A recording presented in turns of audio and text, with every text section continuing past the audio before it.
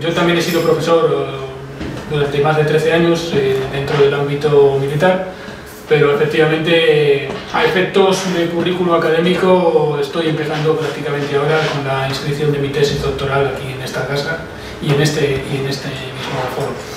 Eh, la estoy haciendo sobre derecho internacional marítimo relacionado con el Pacífico Occidental, todos los conflictos que está habiendo ahora de soberanía sobre las distintas islas y se me va a ver un poco el primero eh, en, en, la exposición que voy a hacer.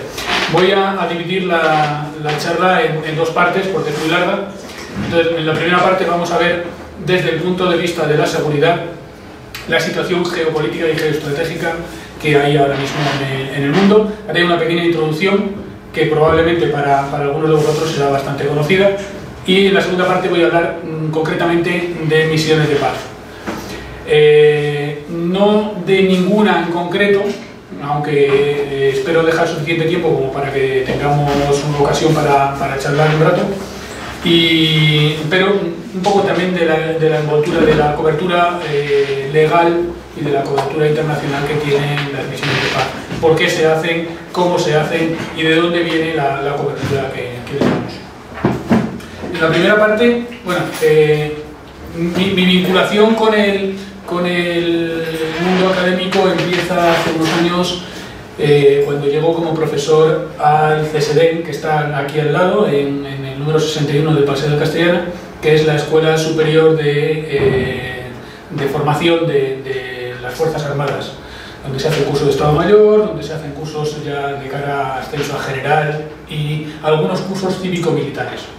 Hoy, por ejemplo, se está dando una conferencia, o se va a dar a las 6, todavía está ese tiempo, una conferencia mucho mejor que esta, sobre temas económicos, que la da Eduardo Olier. Eh, la semana que viene, el jueves también, eh, José Antonio Maldonado, el presidente del Instituto Meteorológico Nacional, no sé qué es, da también una sobre cambio climático muy interesante. Eh, hay foros militares donde hay inquietudes académicas y Soledad lo ha dicho antes, eh, yo estoy bastante implicado en temas de seguridad energética, seguridad medioambiental, cambio climático, que en principio no se relacionan mucho con la actividad militar. Y sin embargo, creo que tenemos alguna cosa que aportar.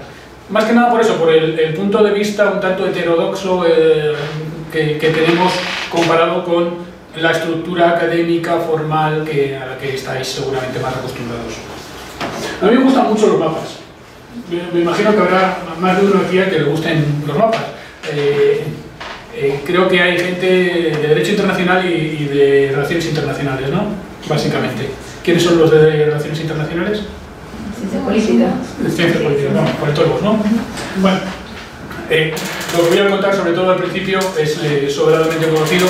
De hecho, mm, no lo voy a contar completo y seguramente lo voy a contar mucho peor de lo que, de lo, que lo contaría así. Eh, pero creo que es necesario para entender un poco el cómo, mmm, cómo llegamos a la situación actual, cómo, cómo se puede interpretar la, la, dinámica geopolítica que se da entre los distintos países.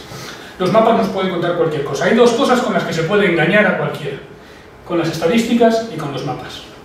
Que al final un mapa viene a ser una estadística puesta en un gráfico, un gráfico que representa países.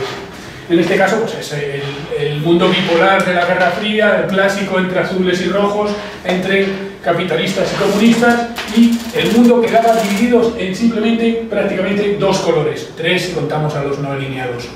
Pero, de alguna manera, el color con el que representábamos a cada país nos decía mucho ya de con quién estaba afiliado. Esto eh, es otro mapa que nos habla simplemente de dónde está la gente, de la, población donde se encuentra situada. Y vemos que no necesariamente se corresponde con los focos de poder tradicionales. Incluso la forma de ver los mapas es muy distinta. Si nos damos cuenta, este mapa no está al revés. Los nombres están a la derecha, se ven muy mal, pero vamos, los nombres están perfectamente a la derecha. Los australianos ven los mapas así. Lógicamente, para los australianos, el mundo... Bienvenida. Eh, el mundo eh, está centrado en Australia y Australia está arriba, que es la posición dominante. En Europa estamos acostumbrados a verlo al revés. Cuando vemos el mundo según lo ven los australianos, España ocupa la posición más periférica posible. No podemos estar más lejos, no podemos estar más aislados. Eh, yo creo que, no me vuelvo a preguntar porque no se me.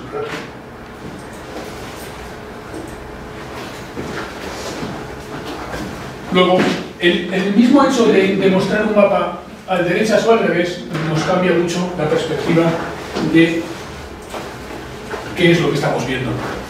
Lo que tenemos que ver ahora mismo en el mundo actual es menos en dónde están los recursos, en dónde está la gente y mucho más las conexiones que hay entre ellas.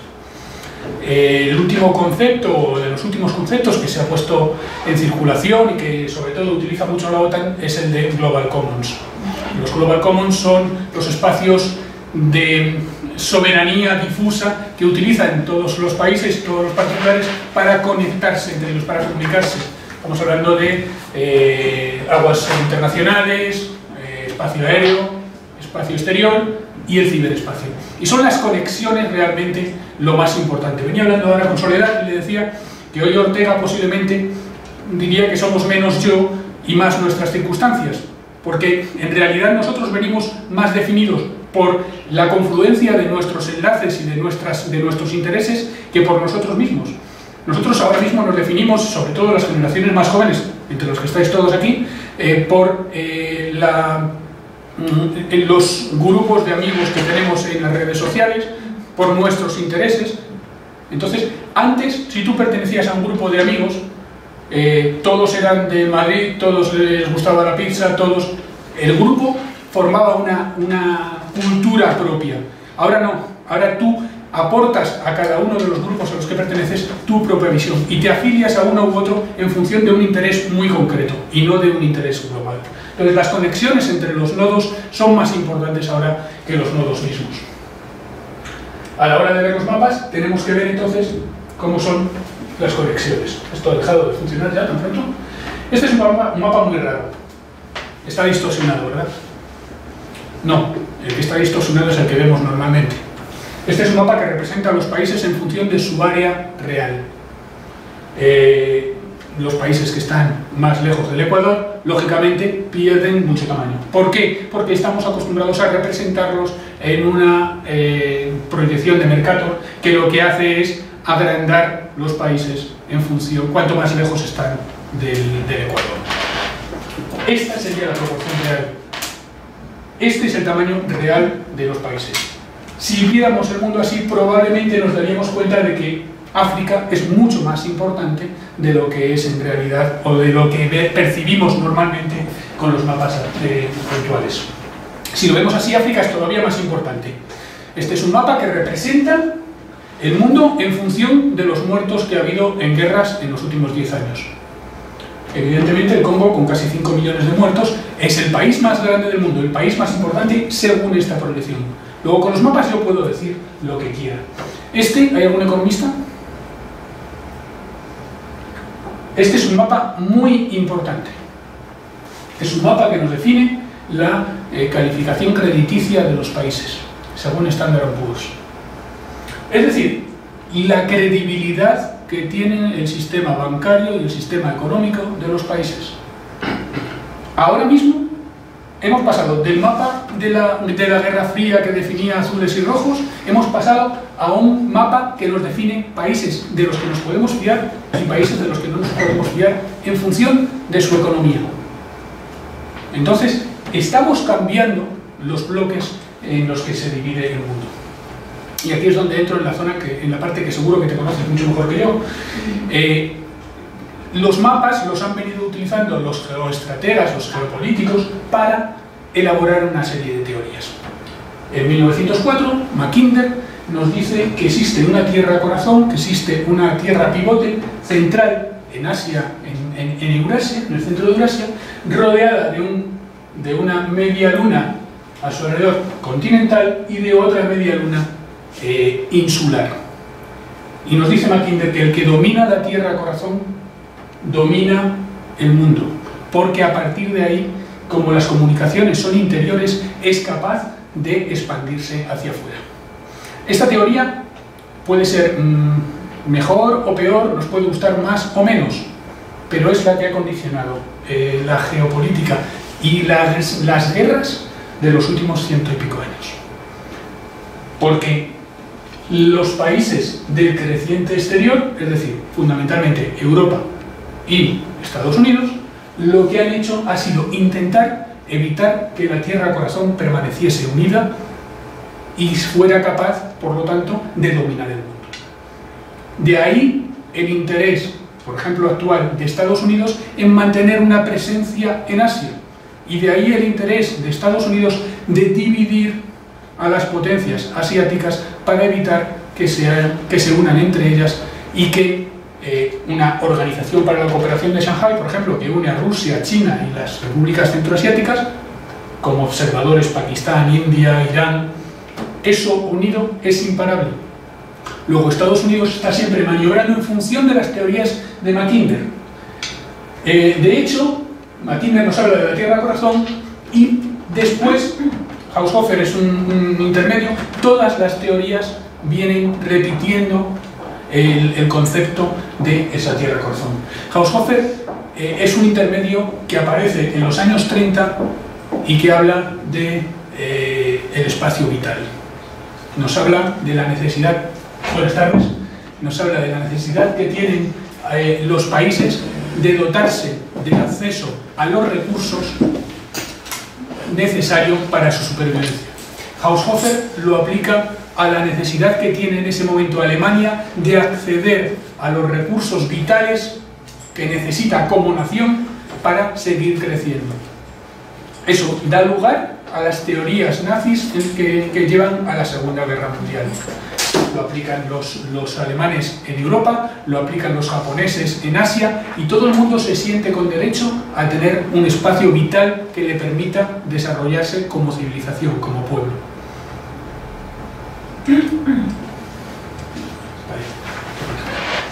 A partir de ahí las teorías básicamente de lo que hablan es eso, de una política de expansión desde la Tierra Corazón, o bien Huntington que nos lleva a la teoría eh, contraria a la que establecía el presidente anterior en España, Zapatero, de la Alianza de las Civilizaciones. Huntington nos habla del choque de civilizaciones. Eh, su obra es un clásico ahora mismo ya en la, geopolítica y nos habla de cómo no son realmente los bloques los que chocan entre ellos, sino las civilizaciones. Y divide las distintas civilizaciones del mundo, la judeocristiana por un lado, la eh, rusa por otro, la asiática por otro, y ve cómo eh, la dinámica que se produce de, de enfrentamientos es siempre entre civilizaciones.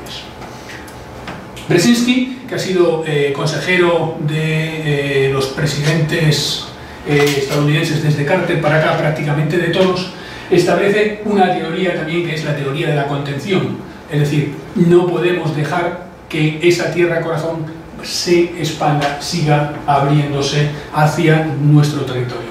De tal manera que vamos a crear un telón de acero, vamos a crear una OTAN que les cierre el acceso a Europa, vamos a dominar o a controlar puntos claves del Oriente Medio para evitar su expansión hacia el sur. Entramos en Afganistán, entramos en Irak eh, y vamos a crear una contención hacia el Pacífico de lo que sería China. Mucho más moderno, desde hace nada más 10 años y en, este caso a mí me gusta mucho la teoría esta, eh, la utilizo mucho en, las conferencias que, que doy por ahí, es la de Thomas Barnett, que nos habla, nos de el mundo conectado y el gap desconectado. Lo que nos dice es que existe una línea divisoria, la vemos ahí, que separa, por un lado, a los países que tienen unas economías interdependientes entre ellos y a los que tienen una economía tan primitiva que no depende de otros, sino que simplemente es una economía prácticamente de subsistencia. Y un sistema político que tiende a centrarse en sí mismo.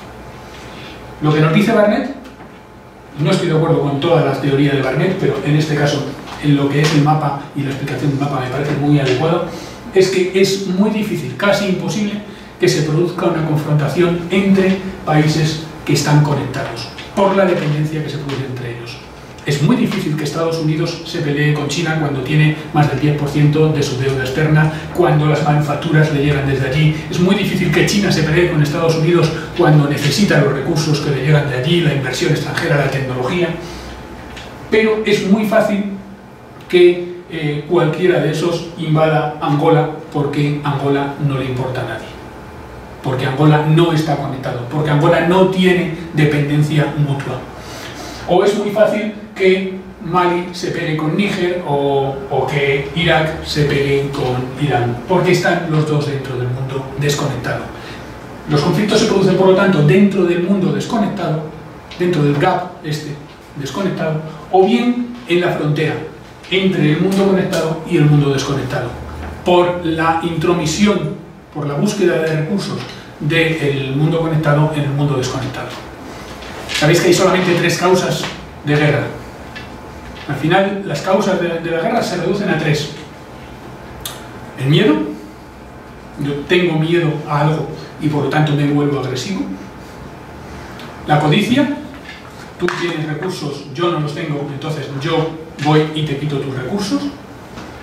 Y el honor, el honor, la honrilla, eh, la guerra de Troya, sin ir más lejos, si, si hacemos caso a la leyenda, son estos tres o combinaciones de estos tres, son las tres causas de los conflictos, pero no necesariamente entre países, sino también entre particulares. Al final, todo se reduce a miedo, codicia y defensa de, del honor. Yo elaboré, este mapa es mío, es una idea que, se me ocurrió, bueno, es de Google, pero la línea la, la línea la dibujé yo. Eh, no, no, vamos a tener aquí problemas de copyright.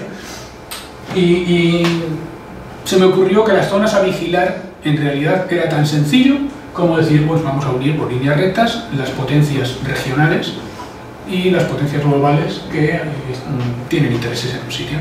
Entonces, eh, si nosotros cogemos, por ejemplo, eh, Egipto o Israel, Arabia Saudí, Irán y Turquía, los cuatro polos, digamos, del de, poder eh, islámico, eh, suní por un lado, chií por otro, wahabista por un lado, eh, de hermanos musulmanes por otro, lo que queda en medio es Siria e Irak.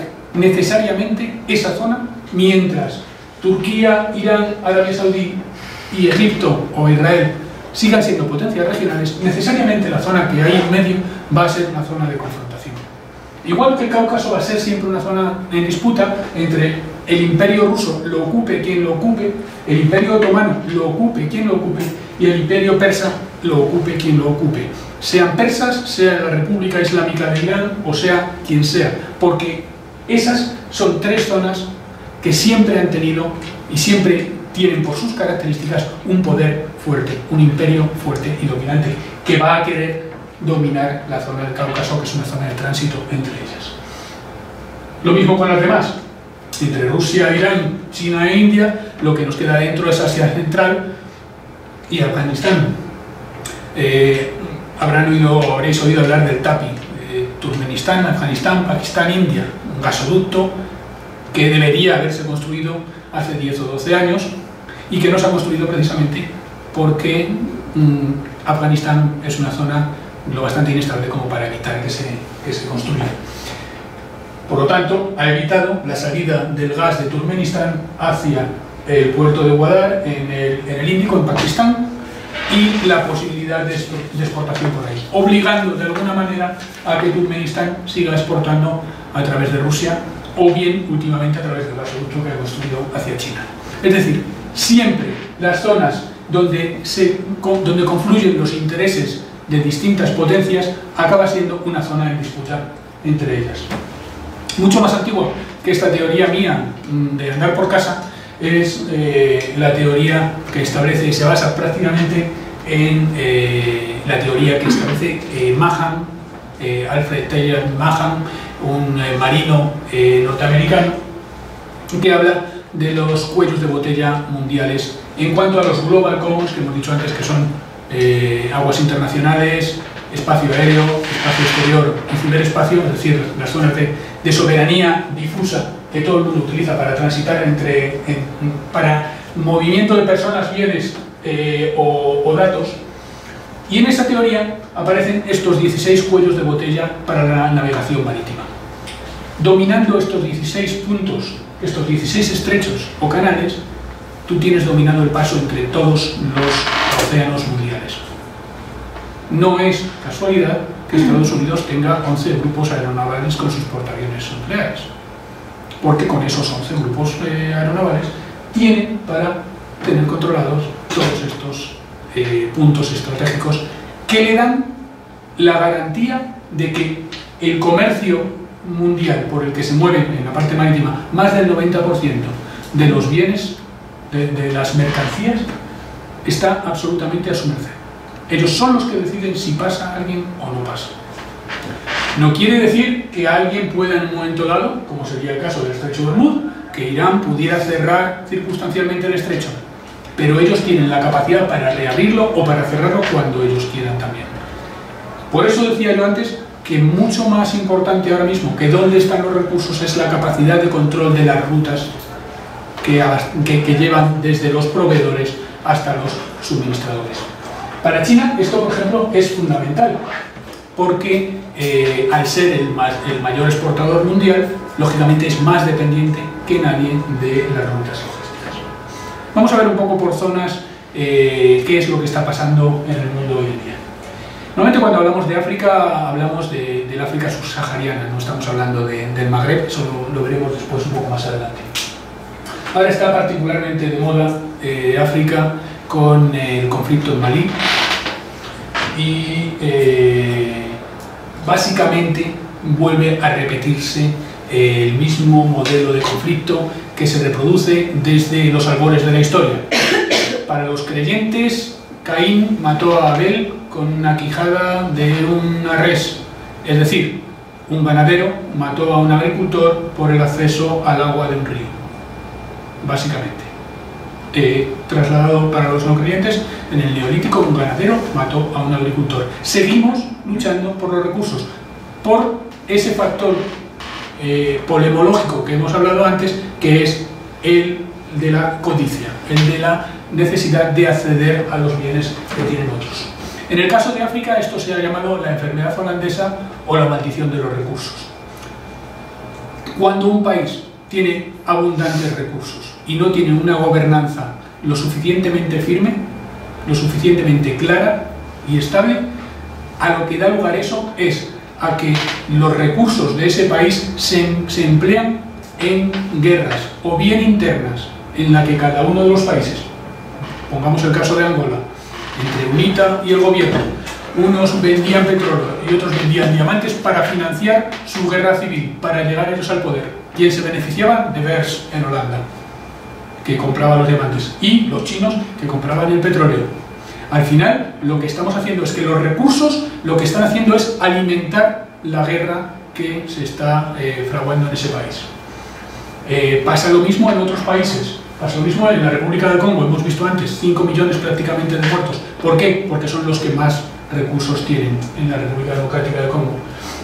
Pasó en Sierra Leona, pasó en Liberia y vemos que ahí es donde están establecidas algunas de las misiones de mantenimiento de la paz que tiene Naciones Unidas en este momento. Eh, cuando Leonardo DiCaprio eh, consiguió eh, erradicar el comercio de, de diamantes de sangre, he visto todo lo que fue, fue Leonardo DiCaprio que, el que lo hizo, eh, a alguien le fastidió el negocio, porque estaba vendiendo, eh, en Sierra Leona, estaba vendiendo diamantes para financiar su guerra. A partir de ahí se dedicaron a talar árboles de maderas preciosas para seguir financiando su guerra. Hasta que sacaran una ley equivalente a la que sacaron con respecto a los diamantes, que no recuerdo ahora eh, cuál era, para restringir la exportación ilegal de maderas preciosas también. Luego, el hecho de poseer recursos sin tener un sistema de gobierno lo suficientemente firme, en realidad es una maldición. Eso ha ocurrido en todos los países y está ocurriendo ahora en Mali. En Mali en concreto lo que ha ocurrido es básicamente una dejación por parte del gobierno de, Bamako eh, del control de la zona norte del país. Eh, hasta ahí no pasa nada. Si a eso le añadimos eh, una serie de circunstancias como es la guerra en Libia, que permite el acceso a armamento de todos los grupos que vivían, o de algunos de los grupos que vivían en, la región, y eh, los avances tecnológicos que permiten moverse mucho más fácilmente por el desierto, tenemos todos los ingredientes necesarios para una guerra. Que no para una implicación de las potencias europeas. Eh, si estuvieran matándose los de Al-Qaeda en el Magreb Islámico, los bereberes y los tuaregs entre ellos, y no hubiera ningún interés europeo en juego, evidentemente eh, los franceses estarían tranquilamente en la de no sé qué, en París, mm, tomándose un, un, un pastis, que es lo que se toman los franceses, y no estarían en, en Mali. Pero da la casualidad de que la principal compañía eh, energética francesa, Areva, eh, que prácticamente tiene el monopolio de la producción de uranio eh, mundial y es uno de los eh, referentes, es prácticamente el referente mundial en tecnología nuclear, casi todo el eh, uranio que produce sale de sus minas de Níger. Níger está justo al otro lado de la frontera con respecto a Malí y por lo tanto no puede permitirse en un momento dado que la eh, inestabilidad llegue hasta ahí. ¿Qué más factores influyen ahí? Pues eh, estamos viendo en, en Djibouti tenemos ahora mismo una misión, eh, la Unión Europea tiene otra misión la OTAN, tienen barcos chinos, japoneses, eh, americanos eh, de forma unilateral, hindúes, prácticamente todo el mundo tiene barcos ahí controlando el fenómeno de la piratería. Dentro de muy poquito crecerá bastante el número de barcos que hay controlando la piratería en el Golfo de Guinea, porque está creciendo también muy abundantemente. Tenemos sitios donde hay o pasan muchos recursos y donde no hay un control establecido. Y por lo tanto, en el caso del Golfo de Guinea, son básicamente recursos petrolíferos. Eh, en nuestro eh, amigo y casi compatriota eh, Nguema, eh, o bien Nguema en, en- en Guinea Ecuatorial, él no lo sabía, pero estaba, eh, su palacio está construido encima de un inmenso pozo de petróleo y, lógicamente eh, pues olerá mal, pero vive de maravilla el, el hombre, desde que se ha descubierto eso. Los piratas se aprovechan también de la circunstancia y están secuestrando barcos en el Golfo de Guinea, con lo cual también veremos dentro de poco crecer mucho las actividades allí.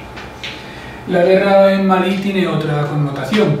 Eh, hay proyectos, eh, sabemos de la dependencia energética que tiene Europa y de cómo eh, Rusia está mm, de alguna manera abusando de su posición de suministrador casi único, sobre todo en cuestión de gas. El gas tiene una característica, que es que es gaseoso, el gas natural. Eh, como su propio nombre indica, es gaseoso y por lo tanto no se puede trasladar fácilmente eh, más que licuándolo o bien por medio de gasoductos. Geopolíticamente eso tiene una importancia muy grande, porque si tú puedes trasladar algo por barco, por camión o como quieras, sin ningún problema, tú no tienes una única vía de transporte entre proveedor y eh, receptor o el, utilizador final de la energía. Con lo cual, digamos que no tienes una dependencia directa de él. Cuando estás hablando de gas, tienes que establecer un gasoducto y por lo tanto se establece un vínculo muy fuerte entre el suministrador y el receptor de la mercancía y los países de tránsito, porque necesitan mantener esa cooperación necesariamente a lo largo de una serie de años, que normalmente estamos hablando de décadas. Eh, desde el Golfo de Guinea se pretendía establecer un gasoducto que cruzase el transsahariano, que cruzase eh, pues básicamente Nigeria, que es donde está la mayor parte de él, eh, Níger, Mali y llegar a Argelia. La inestabilidad actual en la zona impide, evidentemente, que se eh, cree este gasoducto. ¿A quién beneficia, eh, qué es, cui prodest? Eh, ¿A quién beneficia el- el hecho de que no se eh, construya el, el gasoducto? ¿A quién perjudica? Está perjudicando a Europa, está beneficiando a otros mm, proveedores como pueden ser los eh, rusos o los países del Golfo Pérsico que son los que están proveyendo, proveyendo de, de gas a Europa. Es decir, las guerras en África en concreto básicamente tienen un origen de codicia, de lucha por los recursos y están muy condicionadas sobre todo por eh, la falta de gobernanza que existe en el continente, la falta de unos gobiernos claramente establecidos. Lo que ocurre en Sudán, sin ir más lejos, Eh, Sudán tiene sus pozos petrolíferos en lo que es hoy Sudán del Sur, o en la frontera entre Sudán y Sudán del Sur, y los, eh, el, oleoducto eh, que los saca hasta por Sudán, como lo vemos ahí, en Sudán. los chinos y los americanos están peleándose por el acceso a esos recursos. Solución, dividimos el país, los pozos para uno, el oleoducto para otro. Eh, solución de Sudán del Sur ahora, pues hacemos un oleoducto a través de Kenia y así nos ahorramos pasar por Sudán del Norte. Solución de Sudán del Norte, yo tengo más tanques que tú, eh, te Luego tenemos ahí montada otra misión de paz eh, intentando separar dos países que están artificialmente eh, construidos. Con otra implicación muy importante, hay otro recurso que es fundamental y que no es el energético, que es, y va a ser lo más cada día, el agua. El agua es eh, la causa del conflicto de Caín y Abel, del neolítico entre el ganadero y el agricultor, y sigue siendo, mm, no sé cuántos miles de años después, sigue siendo causa de conflictos. Y lo que digo, cada vez probablemente más. Egipto ha definido una sola causa, eh, una, eh, una causa por la que iría a, la guerra, que es si no le llegan los 55.000 millones de metros cúbicos o no sé qué unidades son de eh, agua todos los años. Tiene un acuerdo firmado con Sudán, de tal manera que Sudán tiene que dejar llegar hasta la presa de Asuán esa cantidad de agua todos los años. Menos de eso es casus belli. Egipto invadiría Sudán y todo lo que se le pusiera por delante, y puede hacerlo. El problema ahora mismo es que Sudán ya no es Sudán, es Sudán y Sudán del Sur. Y el Nilo llega desde Sudán del Sur, y con Sudán del Sur no he firmado ningún tratado. Entonces eh, se puede dar el caso de que eh, Egipto se vea afectado por la falta de agua o porque le llegue menos agua de la que tenía prevista. Eh, en realidad, casi todo el agua del Nilo no viene desde ahí, sino que viene, parece que es el Nilo Blanco, el que la aporta, el Nilo Azul es el que llega hasta abajo, si no me equivoco, y el Nilo Blanco llega desde Etiopía, donde eh, hay un montón de empresas eh, occidentales, hindúes, por ejemplo, que están produciendo comida eh, alquilando a un dólar la hectárea año, que es un chollo, invernaderos y va incluida todo el agua del Nilo que necesiten para regar.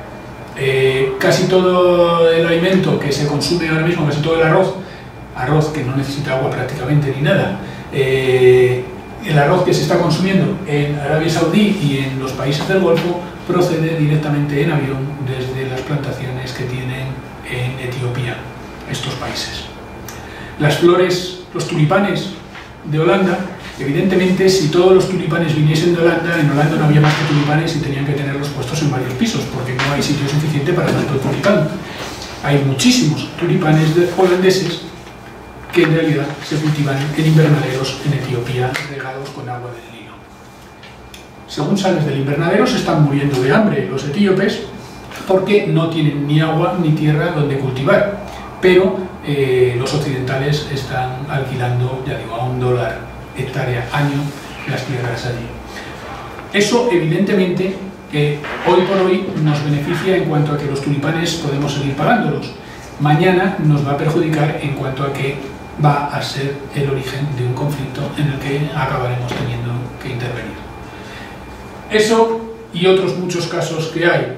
Eh, Madagascar, Daegu, la compañía coreana, intenta comprarse la mitad norte de la isla de Madagascar eh, viene a ser vecina de España aproximadamente, para el que quiera hacer las cuentas, para cultivar eh, biocombustibles. Eh, eso dejaba sin comer a la mitad de la población de Madagascar. Hubo una revuelta popular, estuvo a punto de haber una rebelión y casi cae el gobierno de Madagascar gracias a eso. Al final dieron marcha atrás. Pero evidentemente la lucha por recursos tan poco glamurosos como es el agua, del grifo eh, está dando lugar a conflictos en África. No me enrollo más con África. Vámonos a, mi zona favorita, que es eh, eh, Asia-Pacífico. en concreto China. En China vemos que aquí, y vamos a seguir con el agua ya que estamos, aprovechando que en este mapa salen prácticamente todos los ríos que, pasan por la zona. Los ríos desembocan cada uno en donde tienen que desembocar, pero si nos damos cuenta tienen una característica común. ¿Dónde nacen todos? Cerca, en Tíbet, en la región de Tíbet. Esa del Dalai Lama, eh, esa que, que está reclamando su autonomía y que que en realidad no tiene nada, porque no tiene nada. Tíbet solamente sirve para dos cosas. Para que los hindúes estén más lejos de, China, de, la parte que importa de China, y segundo porque en Tíbet nacen, en Tíbet, en el Himalaya, el Indo Kush, nacen eh, prácticamente la totalidad de los ríos que alimentan a 4.000 y pico millones de personas. Eso es mucho. Es mucho y es muy importante. En concreto, la zona de Cachemira, la zona de Cachemira, donde también tenemos una misión de paz, es una zona que desde que nace Pakistán es una zona en disputa. ¿Y qué tiene Cachemira? Si en realidad la altitud media allí son 4.000 y pico metros y no hay más que nieve y glaciares. pues tiene eso, nieve y glaciares. Tiene la nieve y los glaciares que alimentan el cauce del río Indo, que es un río con el nombre muy bien puesto. El río Indo eh, alimenta a Pakistán, que es el máximo rival de India. Eh, entonces, casi todos los afluentes principales del Indo nacen en la región de Cachemira. ¿Por qué está en disputa la región de Cachemira? Porque el que tenga la llave del grifo que alimenta los eh, afluentes del Indo tiene la llave de la vida o la muerte de los 150-170 millones de habitantes de Pakistán prácticamente todo el agua que les llega, les llega a través del himno. Hay otro caso muy curioso, me estoy enrollando mucho con el agua. El, el Brahmaputra. Me parece que pocos vieron la serie de televisión de la frontera azul del río Yanshanpo, no sé si a ti te llegó para verla, en los a finales de los 70, primeros de los 80, que hablaba de, la frontera azul del río Yanshanpo. El río Yanshanpo es el Brahmaputra. ¿Mm? ¿No te acuerdas del Inchun? Ya te digo, soy, soy, el más viejo de la sala de En fin, eh, el, el, Brahmaputra es un río muy curioso, es un río muy caudaloso. Es un río que eh, hace aquí una curva, bueno, eh, estamos en, en, escala asiática, o sea que la curva esta es, es amplia. En esta curva, en, en, si cogemos la diferencia de altura entre aquí y aquí, hay aproximadamente unos 4.000 metros de salto vertical. Mucho caudal, mucha diferencia de altura implica un potencial de producción de energía hidroeléctrica enorme. Claro, si tú te dedicas a construir presas ahí, el Brahmaputra se une después con el Ganges, que viene bastante perjudicado después de que se bañen allí todos los hindúes, y es el río que lleva todo el agua a Bangladesh. Bangladesh es un pueblecito, es un paisito que tiene 120 millones de habitantes, o sea, es, significativo. Eh, además es un país musulmán, la India no lo es, de hecho era parte de Pakistán. Eh, en realidad, India, que no es precisamente amiga de Bangladesh, y China son las que tienen la llave del grifo, o los que tienen el grifo, para que llegue o no llegue el agua a Bangladesh. China estaba pensando que tiene poca agua para, para, su gente, que tiene mucha gente, y, hacer un trasvase Brahmaputra, eh, Río Amarillo o Yangtze, con lo cual dejaría sin agua a Bangladesh para alimentarse ellos. Eso mm, probablemente Bangladesh no tuviera mucho que decir al respecto, porque por mucho que sean 120 millones, nosotros son más de 1.200, o sea que tampoco tiene mucho de hablar, pero eh, no creo que le sentara nada bien. Aparte, eh, el cambio climático donde más afecta en el mundo es precisamente en las bocas de los ángeles, en Bangladesh, con lo cual eh, no solamente tiene el problema del agua que no les llega por arriba, sino del agua que les llega desde, desde el mar, que no es precisamente potable. Bueno, vemos la importancia de algunas regiones es simplemente el nacimiento de los ríos. Eh, lo mismo se podría decir de la Budaria y del Sirdaria en Asia Central, que desembocan en el mar de Aral. Seguramente muchos habéis visto el documental sobre el mar de Aral, que perdió el 90% de su superficie eh, porque eh, no les llevaba agua, porque la empleaba en todos los, los países de- del camino. Bueno, ahora mismo en Asia, en Asia, en Extremo Oriente, están ocurriendo... Bueno, Extremo Oriente es una expresión que no me gusta nada. Eh, Uno de los primeros artículos que escribí era Extremo Occidente.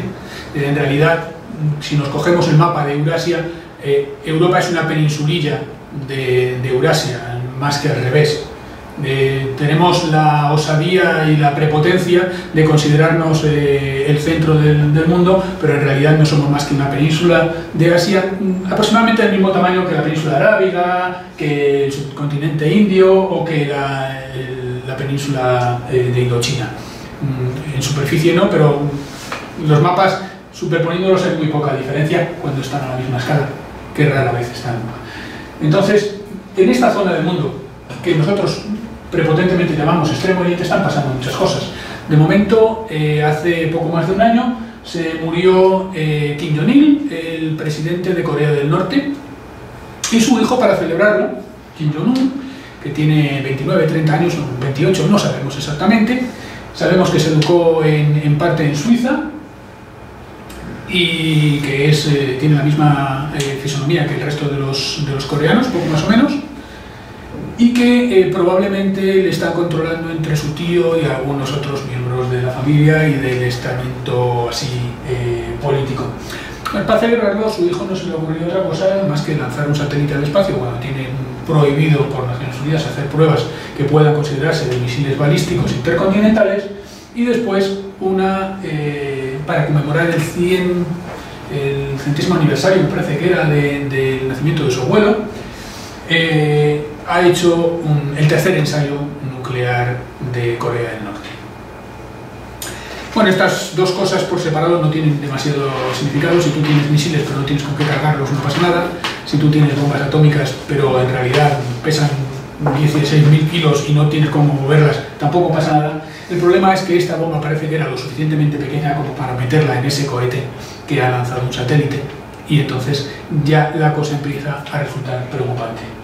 Preocupante incluso para su aliado tradicional, que es China. Eh, para los de derecho internacional hay una disputa muy interesante aquí en, las aguas entre Corea del Norte y Corea del Sur. Hay otra entre Corea del Sur y Japón, otra entre Japón y Rusia. Es un filón, esta, esta zona es un filón para los de, de derecho internacional marítimo. Entre Corea del Norte y Corea del Sur hay una zona en disputa eh, que está eh, en la parte eh, oeste de, de la península de Corea. Eh, cuando se hace el reparto después de un armisticio, recordemos Corea del Norte y Corea del Sur siguen técnicamente en guerra desde 1953 y eh, lo único que hay es un alto el fuego. Naciones Unidas establece en función de la soberanía de las islas una demarcación de las aguas territoriales de Corea del Norte que va prácticamente pegada a su costa. Corea del Norte no lo acepta y dice que eh, se utiliza la línea mediana entre eh, los criterios convencionales de, separación de las aguas internacionales. Eh, curiosamente, ha habido dos incidentes últimamente importantes de seguridad. Recordaréis que hace un par de años, mm, casi tres, Corea del Norte parece ser hundió una corbeta de Corea del Sur en esa zona. Corea del Norte dice que no lo hizo, pero que además si lo hubiera hecho estaba en sus aguas territoriales, cosa que Corea del Sur no está de acuerdo, ni la comunidad internacional en general, porque ocurre en la zona precisamente de aguas en disputa entre uno y otro. Eh, poco después, Corea del Norte bombardeó, y esta vez no dijo que no lo había hecho, una isla de Corea del Sur, eh, la isla de Pyongyang, o algo así, suena, bien, eh, Yongbyon, me parece que es exactamente. Eh, no recuerdo si llegó a haber muertos, pero mm, la utilizó prácticamente como campo de tiro. Y para Corea del Norte tenía sentido, porque la isla esa está en, en zona que ellos reclaman como suya.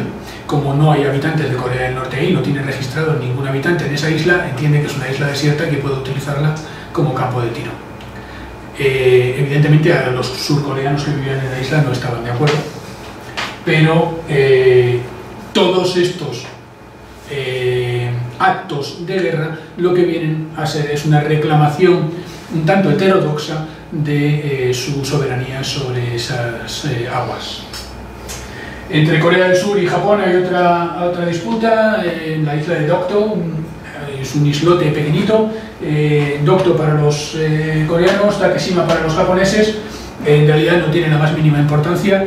Lo único, como le pasa a casi todas las islas en esta zona, hay petróleo y gas en el subsuelo de las aguas territoriales de la zona económica exclusiva en realidad de, eh, de estas islas.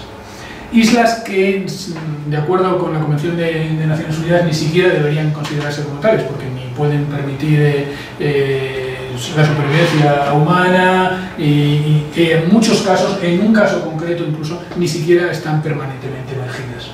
De hecho, es muy curioso porque Japón se está dedicando a construir diques alrededor de algunas islas que en pleamar quedan sumergidas de tal manera que no se sumerjan y pueda seguir diciendo que son islas y reclamar las 200, millas, las 200 millas de zona económica exclusiva a su alrededor. Al norte hay otra disputa eh, entre Japón y Rusia por las Islas Kuriles, también muy interesante porque eh, Rusia le declaró la guerra a Japón en la Segunda Guerra Mundial después de que los americanos tiraran las dos bombas atómicas.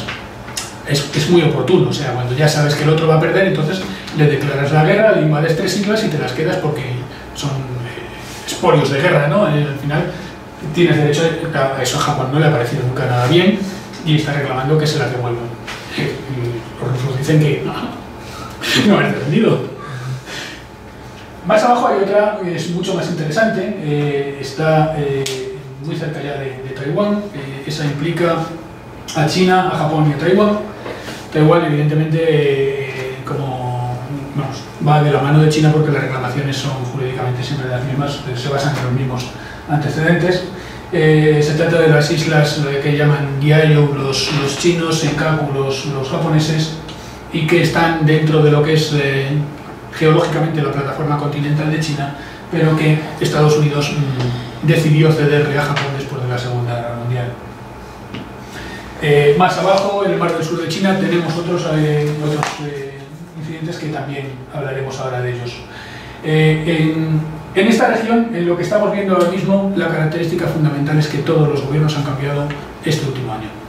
Hemos dicho que en Corea del Norte eh, Kim Jong-un lleva apenas un año como mandatario después de haber heredado el, país oscuro. Eh, es muy curioso ver las imágenes nocturnas de esta zona porque eh, aparece en el mismo color negro zaino eh, el mar y Corea del Norte porque prácticamente no tienen, no tienen electricidad y por lo tanto de noche es, un vacío eh, de luz. Corea del Sur acaba de, bueno, están todavía ratificando a los miembros del gobierno de la presidente Park, que la eligieron hace, hace nada. en Japón acaba de volver al poder después de un intermedio de 5 o 6 años el Partido Liberal Democrático, mm, eh, yo diría tirando a radicalillo, eh, de Shinzo Abe.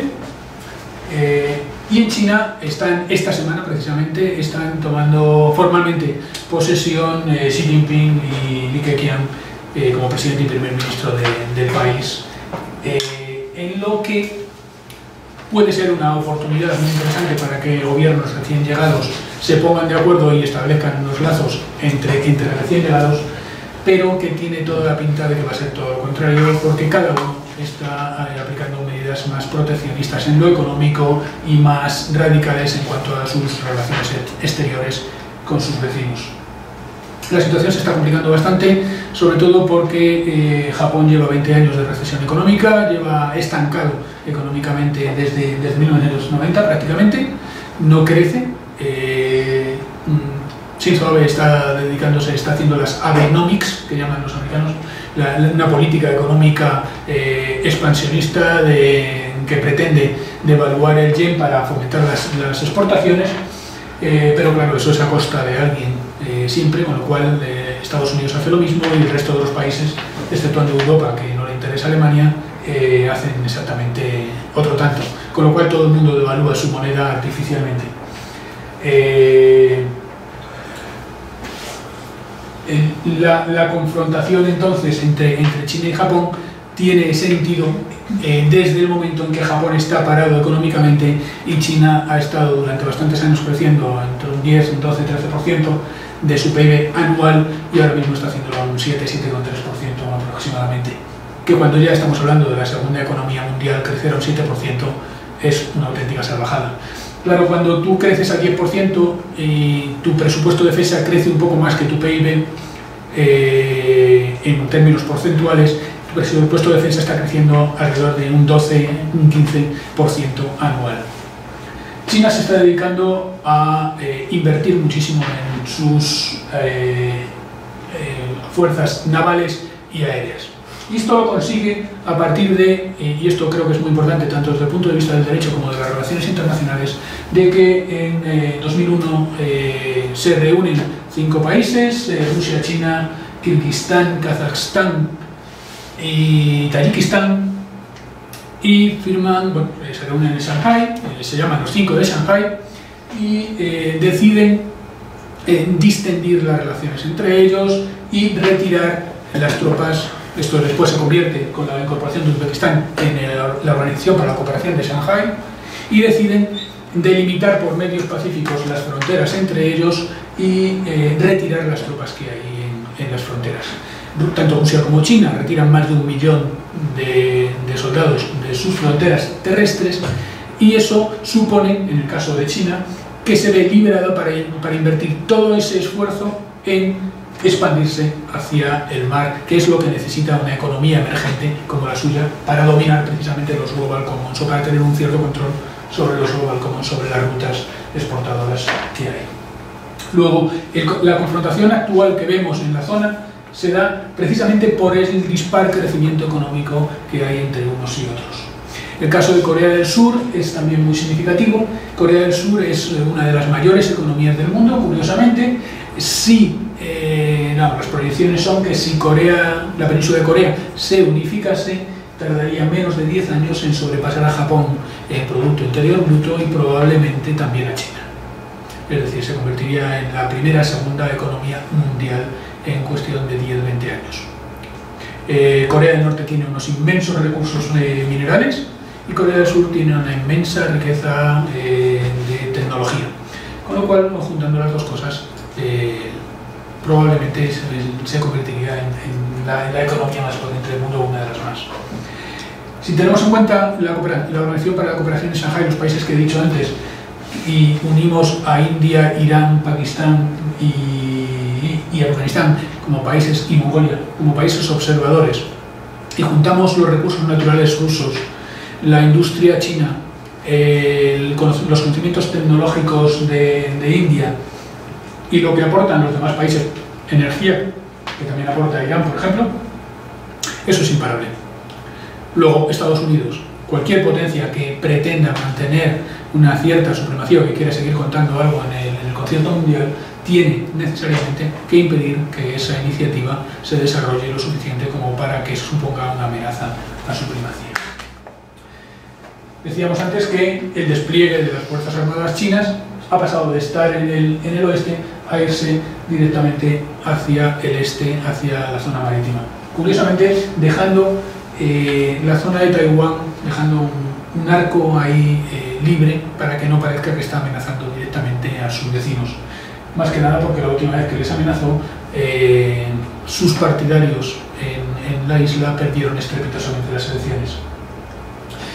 lo que ve China ahora mismo es esto de aquí que se me, que se me quería escapar. Eh, curiosamente, eh, China entiende que delante de ellos, hacia la expansión hacia el Pacífico, lo que tiene son tres cadenas de islas que impiden su libre tránsito hacia los mercados internacionales.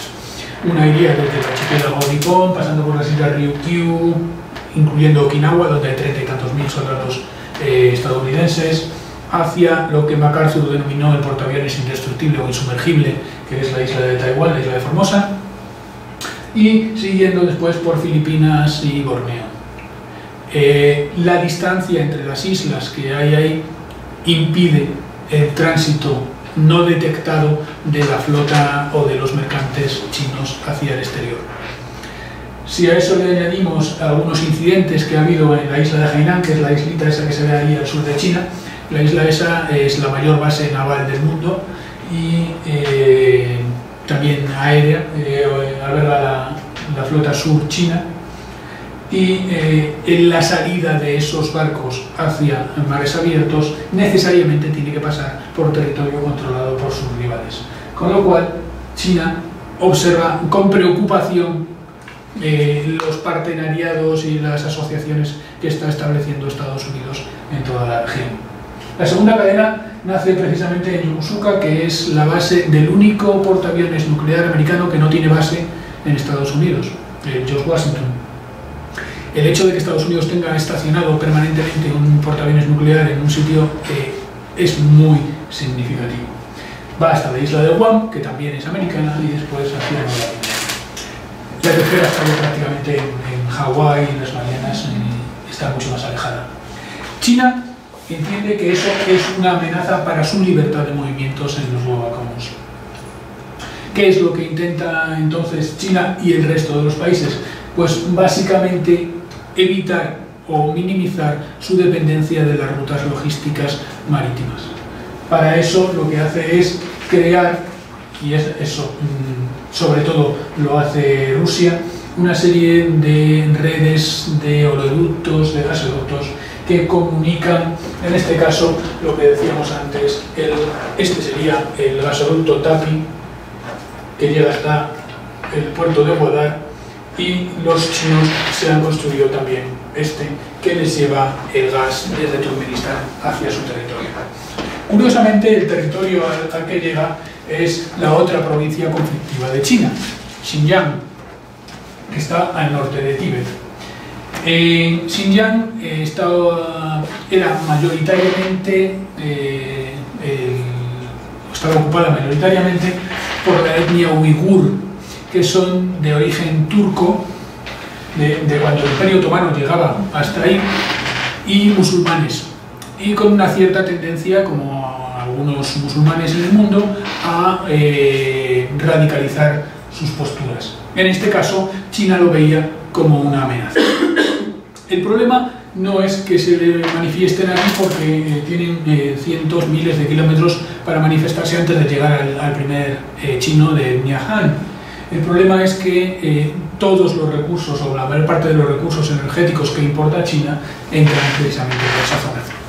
Pero China yo me imagino siempre al, chino este viejo de la barba así de cuatro pelos larga y tal, pensando, ¿qué hacemos para resolver el problema de Xinjiang? Tenemos 5 millones de uigures en Xinjiang, no podemos matar 5 millones de... Bueno, sí podemos, no sería, no sería la primera vez, ¿no? ¿no? quedaría bien matar a 5 millones de uigures en Xinjiang. A la revolución cultural se llevó por delante a 50 millones de chinos. 5 millones tampoco iba a ser más allá de una anécdota. Pero el chino se puso a pensar ahí con la barba y dijo, pues muy fácil, cogemos 10 millones de chinos de otro sitio y los llevamos hasta, hasta Xinjiang y ha arreglado el problema, ya somos mayoría en la, en la, en la provincia de Xinjiang. Y es lo que hicieron, ahora mismo eh, los 5 millones de uigures que están en Xinjiang son la etnia minoritaria y además la que ocupa los peores puestos de trabajo y los que están, digamos, más eh, desfavorecidos en, en la región de la que son originarios, por otro lado. Eh, no voy a entrar mucho en el, tema energético, eh, es muy importante, es clave eh, a efectos de derecho internacional la definición del Caspio como lago o como mar. el mar Caspio es de agua dulce, técnicamente es un lago, nominalmente es un mar, sabéis que el derecho internacional no trata igual las aguas de los lagos, las aguas interiores, las aguas de los mares y por lo tanto eh, a la hora de construir un gasoducto que pase por debajo del Caspio, eh, lo primero que tienes que saber es si lo estás construyendo en tu territorio o no en, tu territorio, con quién tienes que contar. Eh, a Rusia no le interesa que se construya el gasoducto, porque si no se construye el gasoducto, el gas de Turkmenistán o de, o de Kazajstán tiene que pasar por Rusia para poder exportarlo. Luego, cuando todos dicen que es un lago, Rusia dice que es un mar. Y cuando todos dicen que es un mar, Rusia dice que no, que es un lago. Con lo cual, mm, de lo que se trata es de no ponerse de acuerdo y así como no estamos de acuerdo, mm, espérate hasta que nos pongamos de acuerdo para construir el gasoducto y mientras tanto ya, mm, ya me pasas tú a mí tu gas que ya lo vendo yo en Europa al triple de, su precio. Luego, eh, esa es la parte, digamos, más interesante desde el punto de vista del derecho internacional de, de esta región y desde luego eh, el- la salida al mar a través de, de Afganistán. Si nos ponemos a hablar de, de Irán, eh, mejor lo dejamos para cuando hablemos de, de Oriente Medio en cuanto a las conversaciones de su programa nuclear y, y todo lo demás. Ahora simplemente nos, nos centramos en la parte energética aquí. Decir únicamente que Irán es uno de los mayores productores de, de petróleo y de gas del mundo y sin embargo solamente cubre el 30% de sus necesidades de gasolina refinada. No tiene capacidad de refino autónomo para su propio combustible. Luego tiene que exportar eh, crudo y posteriormente importar gasolina refinada eh, muchas veces de India o de China lo cual justifica de alguna manera el que quiera eh, dotarse de otras fuentes energéticas alternativas. La opción que utiliza China para asegurarse el flujo energético es eh, lo que los americanos han llamado la cadena de perlas.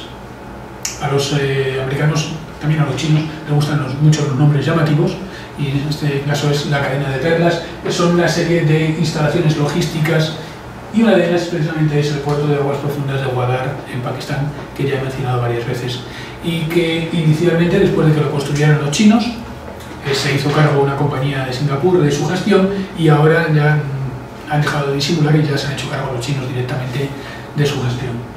Eh, a este puerto es donde va a parar el gasoducto TAPI o de donde irá a parar cuando, cuando se construya. Por lo tanto, tiene una importancia energética importante y al mismo tiempo es la primera escala en mm, las escalas que necesitan los mercantes y los eh, eh, eh, petroleros eh, chinos para llegar hasta, hasta la zona del mar del sur de China y después hacia los mm, eh, oleoductos interiores chinos.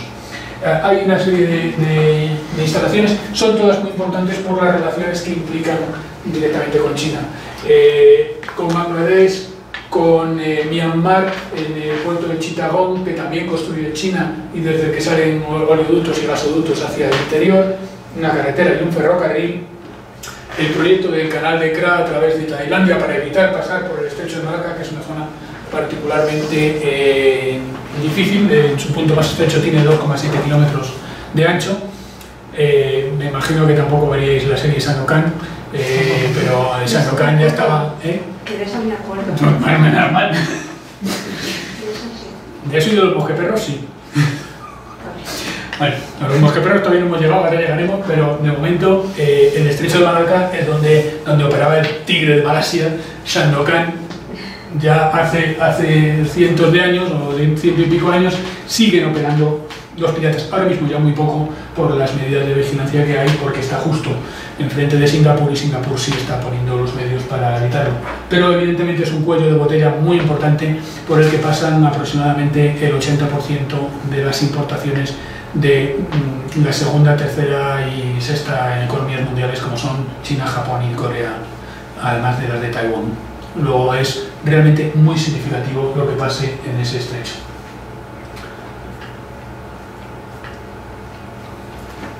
Decíamos que vamos a hablar de, Irán cuando lleguemos a Oriente Medio y hemos llegado muy rápidamente. No me va a quedar para medio que, hablar porque todavía no, no me, no os ha tiempo a que se os olvide que he dicho que lo iba a hacer. Eh, Irán, eh, decíamos que no tiene suficiencia energética, autosuficiencia energética. Irán es eh, una potencia clásica de la zona y siempre lo va a ser, por su posición, por su población, 80 millones de habitantes, 70 y tantos, 80 millones de habitantes, mucho más que cualquiera de los otros, países de, la zona y por sus riquezas energéticas y por, y por su, incluso por su- la orografía de- del país. Se me olvidó decir antes y me parece importante, estamos acostumbrados a pensar, los europeos por lo menos, estamos acostumbrados a pensar, y, y los argentinos mucho más, en grandes extensiones eh, de terreno mm, lisas y llanas y, y no hay ningún obstáculo por en medio. Eh, tuve una vez eh, el gusto de, de hablar con una estudiante kirguís que vino aquí y, hombre, tú me imagino que a comprar te vas a China siempre, al chino de, al lado, pues lo tienes ahí cruzando la frontera a, cinco minutos. Y dice, no está nunca en China. ¿Y eso pasa? ¿Tenéis problemas con los visados? Y dice, no, no, tenemos una montaña de 8.000 metros por el medio que tenemos que dar la vuelta por Kazajstán para llegar hasta China. Y, es verdad. Claro. O sea, y para la mentalidad europea de las grandes llanuras eh, europeas que facilitan mucho el tránsito y las invasiones, por otro lado, eh, evidentemente, por eso, por eso en Europa tenemos tanta riqueza cultural, eh, porque nos ha invadido absolutamente todo el mundo. todos venían de aquí, precisamente, de, Asia. en Irán pasa un poco lo mismo también. Eh, la orografía también lo convierte necesariamente en un punto más seguro que otros, por tanto más difícil de atacar y va a ser siempre una potencia. Irán además es el exponente principal de la rama chií del islamismo, del, islam, no del islamismo, del islam. Eh, la rama chií, mm, bueno, no vamos a entrar en detalles, eh, son, consideran otra eh, genealogía en cuanto a la preeminencia de los, de los profetas y se contrapone con la rama suní, que es la dominante especialmente en Arabia Saudí, pero que también tiene dos polos importantes en Turquía y en Egipto. Eh, los iraníes no solamente son de una secta distinta, es que además se, atreven a ser de una etnia distinta, son persas, no son árabes, como todos los demás. los turcos también son otomanos, no son, no son árabes. Entonces tenemos los otomanos suníes, los eh, suníes árabes, Egipto y Arabia, wahabistas y hermanos musulmanes, más moderados mm, dentro de lo que estamos hablando, los hermanos musulmanes, y los chiíes persas por otro lado. Luego se establece ahí ese cuadrado que salía al principio en el mapa ese que me había inventado yo, que implica que necesariamente aquí en esta zona va, a haber siempre una confrontación. La influencia de Irán se extiende ahora mismo especialmente a Bahrein, que es una islita pequeñita donde el 90% de la población es chií, pero eh, los gobernantes son suníes, y que da la casualidad, eh, el mapa este no es, el mapa de, Arabia no, no, es casualidad que sea así, hay muchos estados pequeños en la costa del Golfo Pérsico porque ahí es donde están los recursos. No es casualidad. Eh, le están quitando recursos, le están quitando a Arabia Saudí el hecho de ser el que monopoliza el petróleo y el gas de toda la región, dividiendo la zona en varios estados. Para eso existe Kuwait, para que no tenga Irak toda la producción del norte del, Golfo Pérsico. ¿Qué es lo que puede pasar aquí? Bueno, eh, lo que está pasando en Siria es que había un gobierno autoritario eh, que no se metía con nadie, eh, relativamente, y ahora tenemos a una panda de rebeldes de orígenes diversos. La cuarta parte pertenecen a Al-Qaeda, procedentes la mayor parte de, Irak.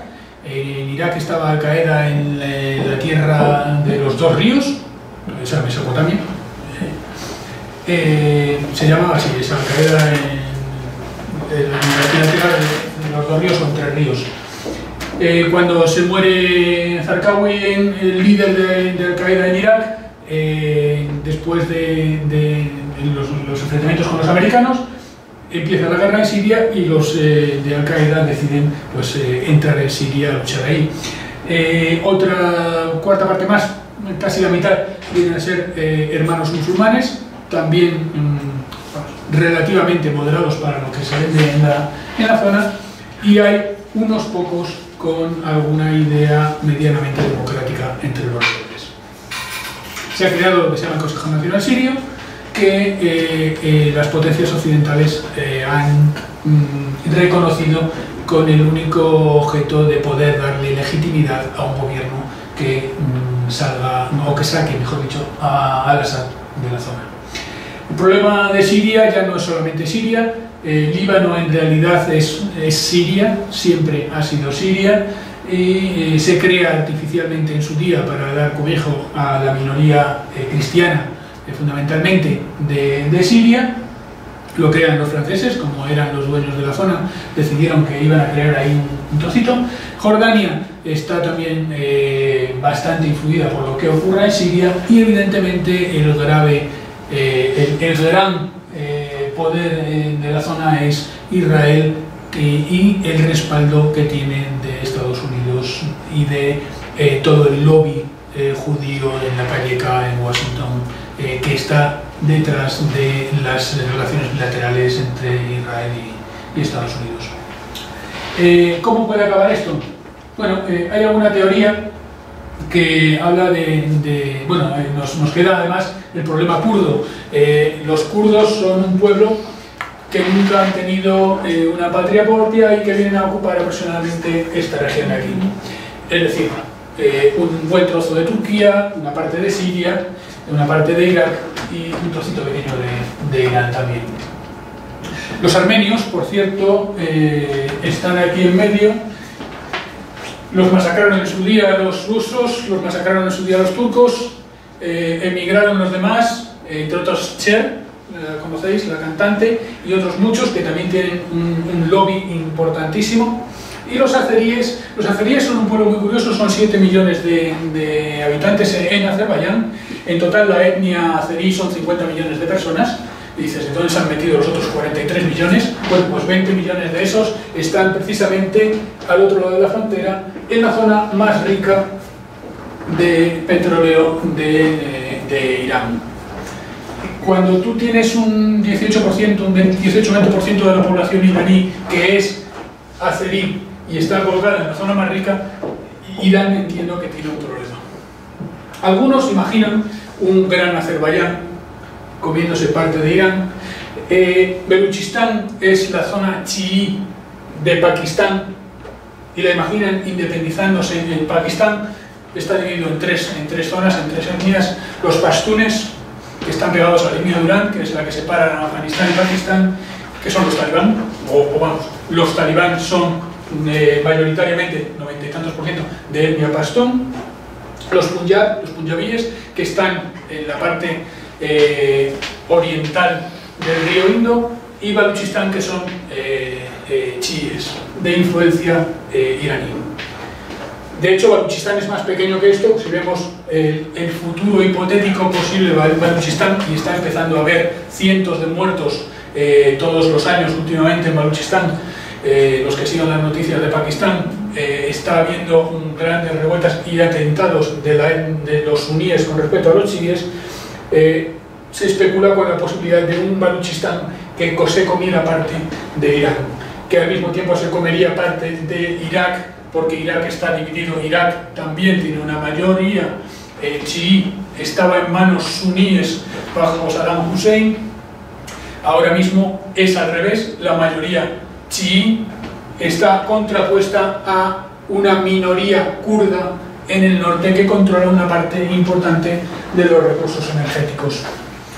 En el más descabellado de los sueños, eh, siguiendo la teoría que decía antes de establecer estados en el Golfo Pérsico para eh, evitar el monopolio de Arabia Saudí sobre los recursos energéticos, podemos llevarla al extremo y creamos unos, un estado islámico, eh, un estado sagrado islámico que ocupe la Meca y Medina, eso es intocable, porque no nos vamos a meter con, con la religión, pero el resto es de libre caza.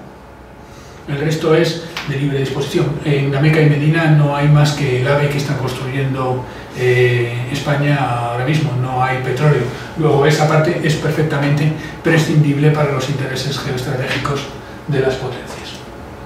Este es eh, un estudio eh, de, de, un think tank y de la inteligencia pakistaní sobre un posible futuro de Oriente Medio.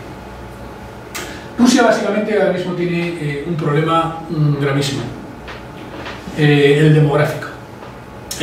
Rusia, la Unión Soviética, antes de separarse, tiene 300 millones de habitantes, cuando se separa en 15 repúblicas, eh, Rusia se queda con 150 millones y los últimos cálculos son de 130 millones lo que les queda después de apenas, apenas 20 años.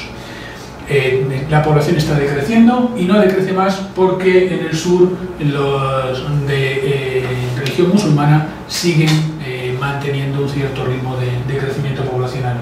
Pero los, los de etnia rusa están decreciendo muy rápidamente. Parece que se está parando la tendencia en cualquier caso. Para Rusia, las dos amenazas fundamentales que llegan desde el sur son el islamismo, que les llega mm, tanto en el Cáucaso, en las repúblicas eh, eh, del norte del Cáucaso, que son eh, musulmanas, como desde la zona de Asia Central a través de Pakistán, desde donde también les llega la otra grave preocupación que tienen, que es el narcotráfico. en Rusia mueren cada año 100.000 personas a causa de las drogas. 100.000 personas en una población decreciente como es la de, la de Rusia es una sangría que difícilmente pueden permitirse. De hecho, en todas las conversaciones que tienes con, un diplomático o con cualquier eh, ruso, eh, de lo primero que te hablan es de la amenaza del narcotráfico para, para su país. Sin embargo, Rusia se basa en su potencial o en su poder eh, energético para establecer las relaciones con sus vecinos fundamentalmente con Europa. De hecho, eh, las dos guerras fundamentales o dos, los dos conflictos en los que ha intervenido Rusia últimamente, los dos tienen origen eh, energético, pero son justamente inversos. en 2008 eh, Rusia invade Georgia y se queda o declara independientes a Osetia del Sur y a Abjasia. Curiosamente, si vemos el, oleoducto y el gasoducto eh, Bakú-Tbilisi-Ceyhan o Bakú-Tbilisi-Erzegun, que es el gasoducto, pasan por Tbilisi, que es la capital de Georgia, y por lo tanto el hecho de invadir parte de Georgia implica amenazar las rutas que vienen del Caspio y que abastecen a Europa y que no pasan ya por Rusia con lo cual está reforzando de alguna manera su monopolio sobre eh, los recursos energéticos que llegan a Europa. Eh, en este caso, Rusia utiliza los tanques en beneficio de Gazprom, de su compañía de bandera energética. Un año después, eh, Rusia tiene un altercado con Ucrania, cierra el grifo del gas y se mueren varias personas en Bulgaria de frío. Rusia utiliza los recursos energéticos, utiliza su división acorazada Gazprom para presionar políticamente a Ucrania que inmediatamente eh, cambie el color político en las siguientes elecciones y le cede la base naval de Sebastopol hasta 2049, si no me equivoco, que era el último acuerdo. Eh, yo hablo de la Federación Rusa o de la Federación Gazprom indistintamente. Eh, Rusia utiliza las divisiones acorazadas en beneficio de su industria energética o su industria energética en beneficio de sus divisiones acorazadas o de su Estado indistintamente.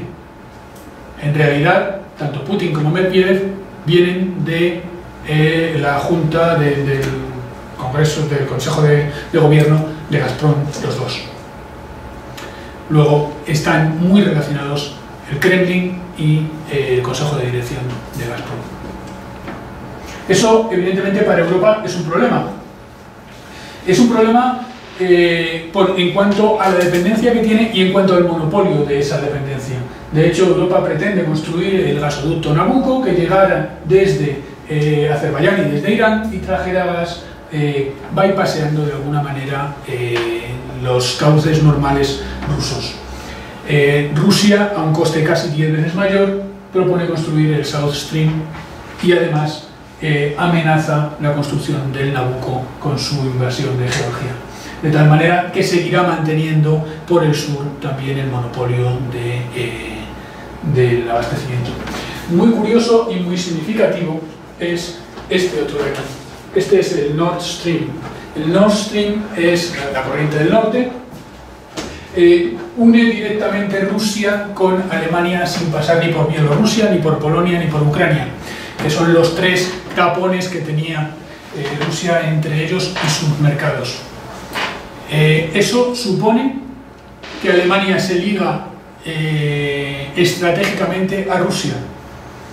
Y eso tenemos que tenerlo en cuenta siempre, cada vez que hablemos de política en Europa, tenemos que tener en cuenta que Alemania está muy ligada a Rusia por su dependencia energética del gas ruso.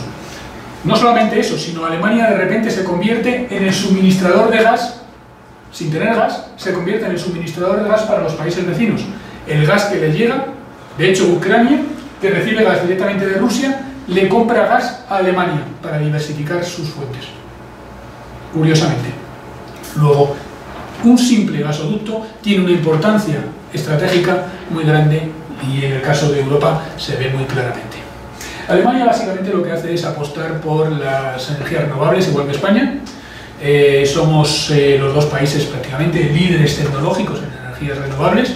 Francia, por otro lado, como hemos visto antes con el caso de Areva, de la compañía de uranio, eh, apuesta por la energía nuclear y el grave problema que tenemos en Europa y muy particularmente en España es la baja interconexión eléctrica que hay entre nuestros países, con lo cual tenemos energía más que de sobra, no la distribuimos adecuadamente, no tenemos las redes de distribución adecuadas para hacernos más fuertes y más eh, independientes.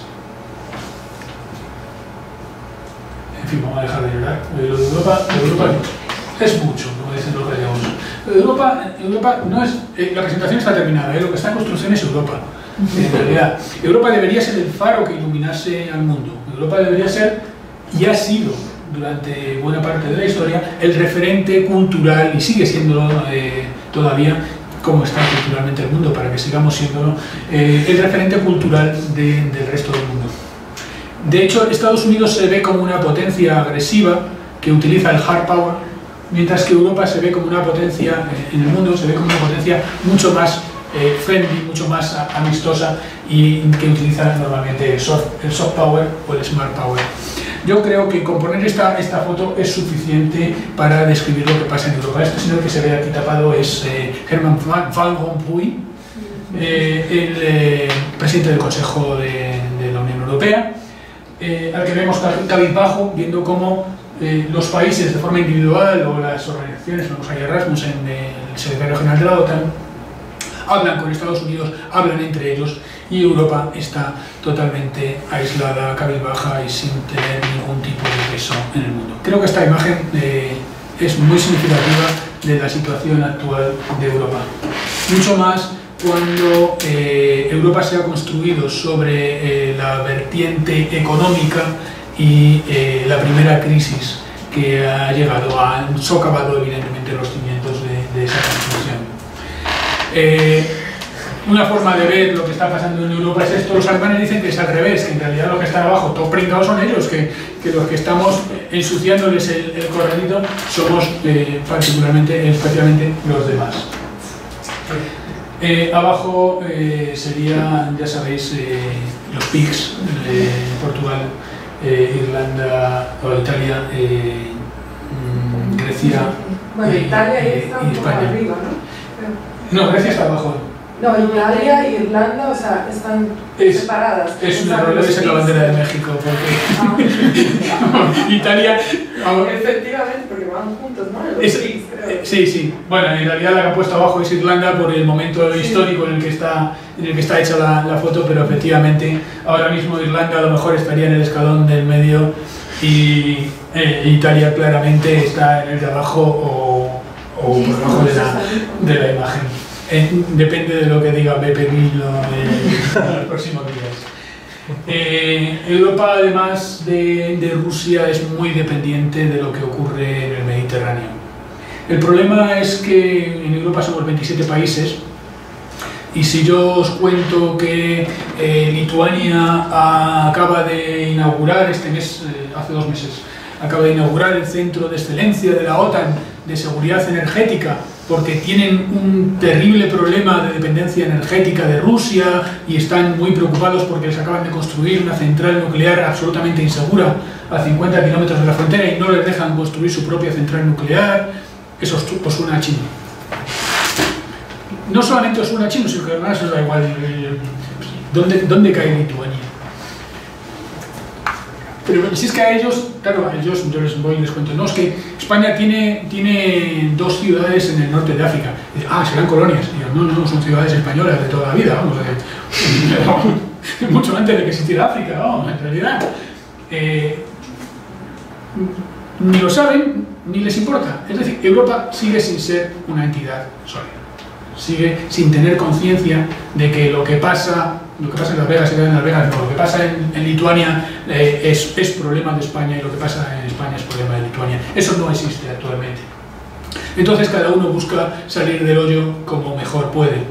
Eh, en España eh, importamos, en España en Italia importamos el gas desde Argelia, el petróleo desde Libia, no, perdón, el petróleo, el petróleo lo importamos en España desde Rusia, curiosamente. El gas no, pero el petróleo lo importamos desde Rusia, la mayor cantidad de petróleo lo importamos desde Rusia. ¿Y alguien sabe desde dónde importamos la mayor cantidad de carbón?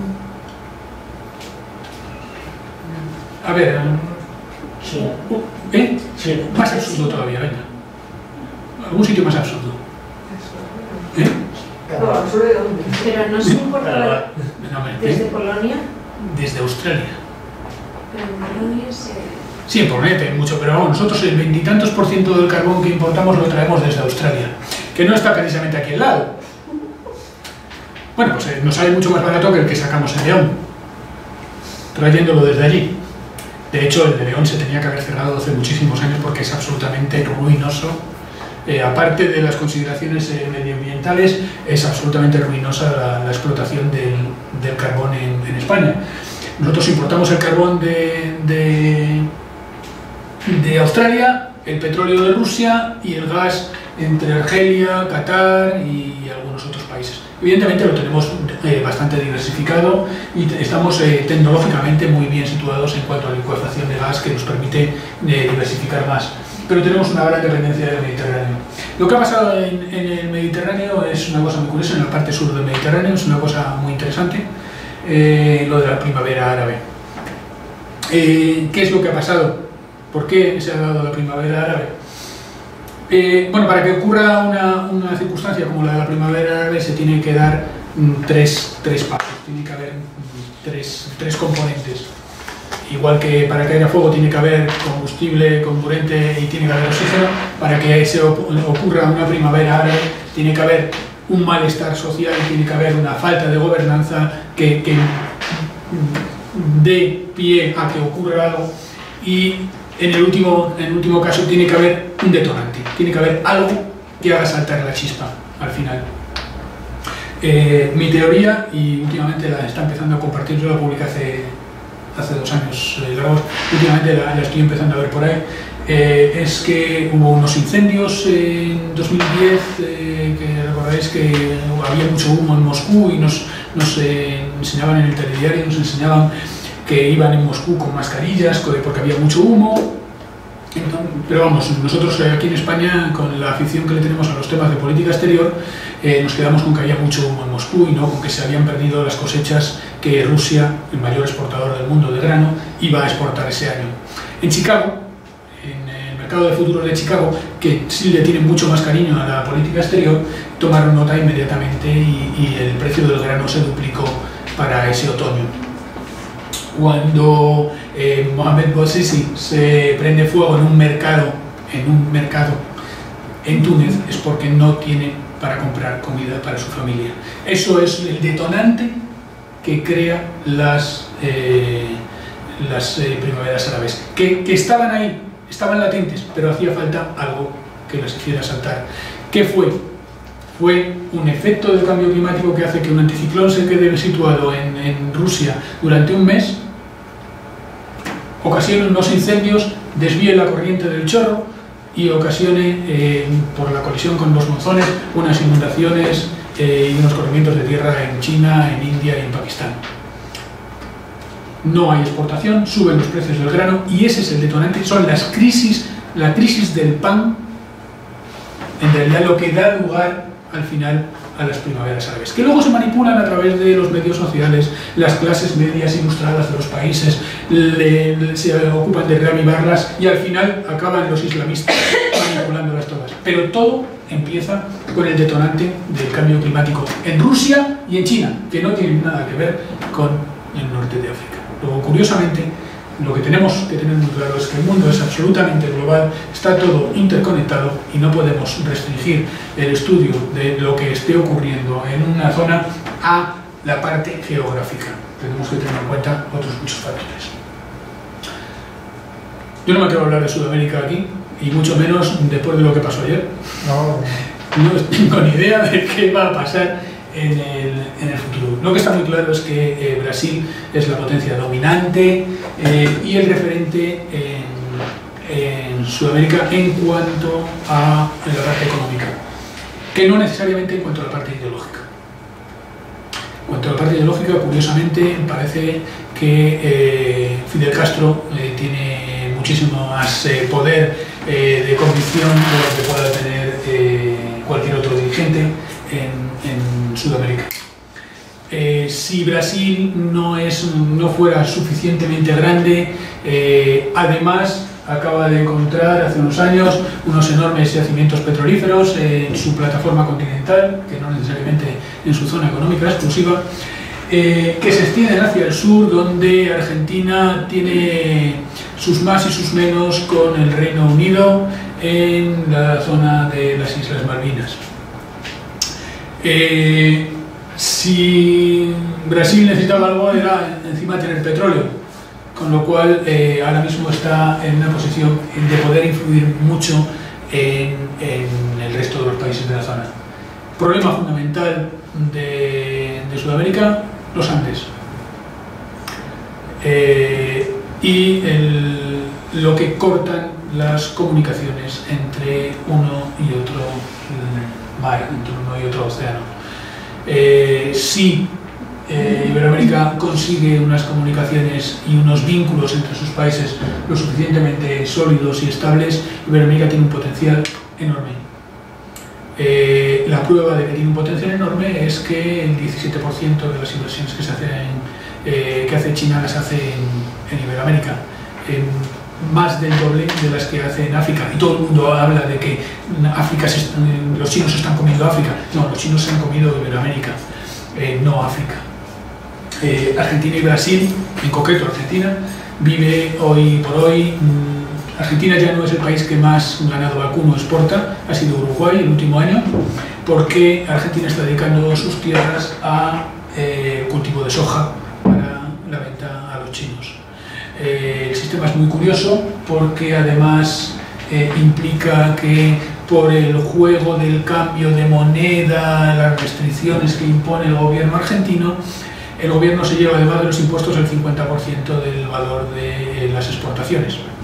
Eh, existe el peso de cambio oficial y el peso del cambio de soja, que es la mitad del, del otro peso, con lo cual ya de momento con el tipo de cambio que le ofrece el gobierno argentino a los productores de soja ya se queda con la mitad de la producción directamente.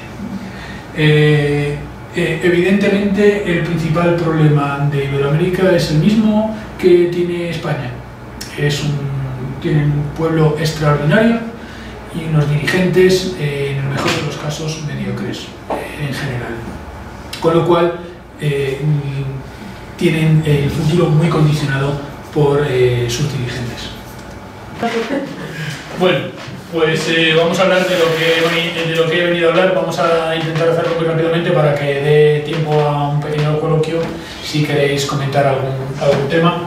Y yo mm, quería comentaros eh, qué son las misiones de paz que hace las Fuerzas Armadas Españolas, las misiones de paz en general, en qué se basan y algunos ejemplos de las, de las que hay. fundamentalmente, eh, para entender el, concepto de las misiones de paz hay que empezar por entender lo que hemos hablado antes, el por qué se dan los conflictos, eh, dónde están los conflictos y por lo tanto qué necesidad hay después de hacer misiones de paz. Eh, yo, entre, bueno, he estado en varias, he estado en, en Kosovo, he estado en Bosnia, estuve preparando alguna otra y tuve la suerte también de participar esto es una preciosa puesta de sol en el, en el Océano Índico. Eh, cuando estuvimos desplegados eh, con ocasión del tsunami que hubo en Banda en Indonesia, en 2004, finales de 2004. Eh, lo que hizo España eh, fue mandar al buque Galicia. Es un buque logístico, pero que tiene una capacidad muy grande tanto para llevar ingenieros para eh, desarrollar obra civil y para desenterrar escombros, desenterrar pues a los, a los fallecidos, como mandamos también un equipo médico y mandamos tres aviones del Ejército de Aire de carga para distribuir ayuda eh, a, los, a, los, afectados. Como veis en las, en las, imágenes, estas son fotos que tomé estando allí, eh, la devastación es, es, impresionante, es algo que viendo las fotos estas que se ven más de cerca de las que normalmente se ven en televisión, se hace uno un poco una idea eh, cuando lo ves allí y ves que varios kilómetros tierra adentro eh, aparece un barco encima del tejado de una casa, un barco grande encima del tejado de una casa, que lo ha llevado la ola hasta allí, te das cuenta de lo que tuvo que pasar. En realidad, eh, la península de H lo que hace es que confluye en justo en las olas, le, dan por los dos lados y mm, prácticamente la, la destruyen. muy curiosamente, hay un, pequeño rompeolas en uno de los paseos y eh, apenas tiene un par de metros de altura con respecto al mar, pero por ahí no pasa la ola. Ahora donde no había rompeolas, arrasa absolutamente varios kilómetros tierra adentro todo lo que hay. Es muy curioso porque eh, el gobierno de Indonesia eh, nos pone todas las pegas del mundo para que vayamos a desplegar allí a llevar ayuda humanitaria porque la zona de H, como sabéis, eh, es una zona de terroristas islamistas opuestos al régimen de, o era, opuestos al régimen de Yakarta, con lo cual pues el gobierno indonesio básicamente vio el tsunami como una bendición que les libraba de un montón de, terroristas y de los recursos que tienen los terroristas para sobrevivir. Con lo cual, mientras nosotros estábamos llevando ayuda humanitaria, a pesar más que con la ayuda del gobierno de, Indonesia, ellos estaban mandando sus propios aviones, en lugar de mandar también ayuda humanitaria, a eh, otros mm, pocos eh, terroristas, en este caso en, Bali, en la, isla. Entonces, muchas veces eh, las misiones de paz las haces a pesar de la, de la opinión del, del país en cuestión. Mm, Muchas veces aquí se ven lo que eran manzanas de casa. Este es el barco que decía que está colocado, no es un barquito, eh, encima de... Y esto es tierra adentro, se ven las manzanas de casa y cómo quedan absolutamente destruidas. Este es el buque Galicia, eh, iba con, un par de helicópteros y estos son los aviones que, que, mandó el ejército de aire. Estuvimos durante tres meses con tres aviones eh, sin parar absolutamente volando el 100% de las misiones que hubo, el helicóptero del barco y creo que las imágenes hablan por sí solas de a qué te enfrentas cuando vas a un sitio de estos. en España eh, me, agradece mis servicios eh, hasta el momento. Eh, voy a tener la oportunidad de pasar a partir del día 20 de noviembre seis meses en Afganistán eh, experimentando otra de las misiones en las que estamos, eh, en las que estamos eh, trabajando ahora mismo. Lo, digo totalmente en serio, yo creo que es un privilegio el poder asistir a, estos, a estos escenarios. Evidentemente es una lástima por el hecho de que se hayan producido, pero el, ponerte en contacto con la situación real, con el mundo real, que no es lo que vivimos en, nuestras calles, en nuestras, en nuestras ciudades, sino es realmente esto, eh, no ya simplemente lo que ves aquí, sino lo que ves en, en donde estaban los aviones nuestros, eh, donde ves la forma de vivir de millones y millones, de miles de millones en realidad de, personas en el mundo, que es la forma real en la que están viviendo. Eh, entonces, mm, realmente sientes mucho más de cerca cuál es la labor que están haciendo las Fuerzas Armadas y el Ministerio de Exteriores a través de los cooperantes o las ONGs que están, están yendo a, a Te das cuenta de de otras muchas realidades. Eh, en realidad, la seguridad, eh, voy entrando en, materia, la seguridad es, algo, es un tanto intangible, ¿no? es algo que, que, no se puede definir. ¿Cuándo estás seguro? Nunca estás seguro al 100%. Es, es más una percepción que tienes tú de, de seguridad que una realidad. y, normalmente estamos acostumbrados a, asociarla a los riesgos tradicionales, a que no nos peguen, a que no nos asalten, a que no nos roben, que no nos maten. Y hacemos muchas veces una distinción entre lo que es seguridad y lo que es defensa. Eh, que en realidad existe. Defensa sería protegernos con respecto a una agresión. La seguridad es algo más amplio que incluye eh, los dos conceptos que en inglés se separan, security y safety. En España, en español, mejor dicho, solamente existe seguridad. En realidad lo que está ocurriendo es que el mundo entero se está dando cuenta de que la security sin safety no sirve para nada. Te da lo mismo a los habitantes de la isla del Hierro cuando, cuando el, volcán les daba lo mismo que les atropellase un coche, que les viniese un terrorista islámico y les eh, matase, o que el volcán entrase en erupción y se muriesen también, porque el resultado es que te mueres. En realidad te da lo mismo que te ataquen, o que tengas un accidente, o que tengas o que un, hecho natural sea el que te causa muerte, porque al final el resultado es el mismo. Tienes que conseguir security y safety, tienes que conseguir seguridad en todos los sentidos. Y en ese sentido aparecen también nuevos riesgos, ya no solamente son los riesgos locales, ya no es que te asalte el vecino del lado, sino que eh, la globalización eh, introduce riesgos que no te podías imaginar. Hemos visto antes el tema de lo de las primaveras árabes, cómo se podían imaginar en Túnez que eh, un incendio en Rusia podía afectarles a ellos, o cómo nos podíamos imaginar hace unos años que nos podían robar el dinero del banco desde China o desde Maldivas eh, otro país, eh, no sea el típico al que siempre se le atribuyen cuando en realidad no tiene tanta, tanta incidencia en los ataques eh, cibernéticos.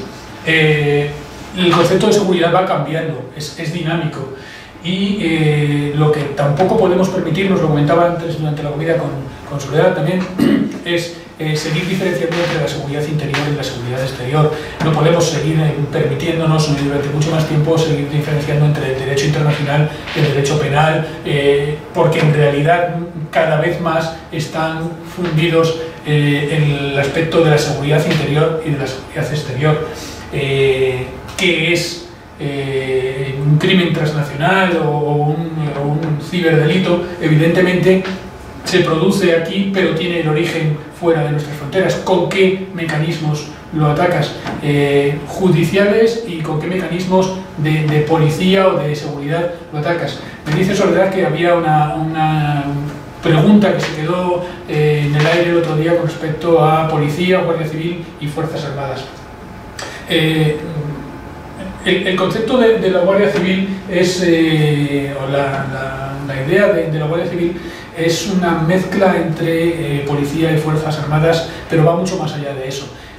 Es una, una organización que permite operar como fuerza de policía en cuanto a los delitos que se cometen en el interior, pero que tiene carácter militar también y que por lo tanto te puedes encontrar guardias civiles mm, eh, atendiendo a un delito doméstico o una falta eh, en, tu propia localidad o en tu pueblo, que es donde tienen una jurisdicción normalmente los guardias civiles eh, como policías, y te puedes encontrar guardias civiles pues regulando las exportaciones o el tráfico que había eh, durante la guerra de Yugoslavia eh, a través del Danubio con barcos de la Guardia Civil allí o te puedes encontrar guardias civiles cooperando en temas de formación de fuerzas eh, de seguridad de países fuera de, fuera de España, fuera de, fuera de Europa, donde se están haciendo labores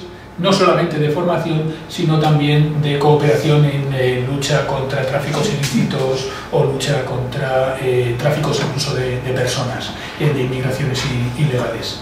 Entonces, el, concepto de la Guardia Civil es un concepto de la, gendarmería en general, se ha extendido y está ganando adeptos entre, entre muchos países precisamente por la eh, capacidad que tiene para operar en todo el espectro de las amenazas que nos podemos encontrar, tanto las domésticas como las de, carácter internacional. En Europa se ha creado lo que es la Gendarmería Europea, que tiene su sede en Vicenza, en el norte de Italia, una ciudad preciosa, llena de joyerías, eh, pues si eh, queréis visitarla, es la, capital del oro del norte italiano, y eh, tienen allí su cuartel general donde están juntos Carabinieri, los, eh, la Gendarmerie francesa, están también los, los, holandeses y en general las fuerzas de, que con este carácter dual de Europa cooperando entre ellas, aprendiendo entre ellas y realizando acciones eh, transnacionales también desde, desde allí. Eh, el concepto yo creo que es eh, de mucho futuro y el problema será encontrar a lo mejor las sinergias y los límites o, eliminar los límites de, la actuación entre la policía tradicional, las Fuerzas Armadas y la Guardia Civil que viene a unir los, los, ámbitos de actuación de los dos.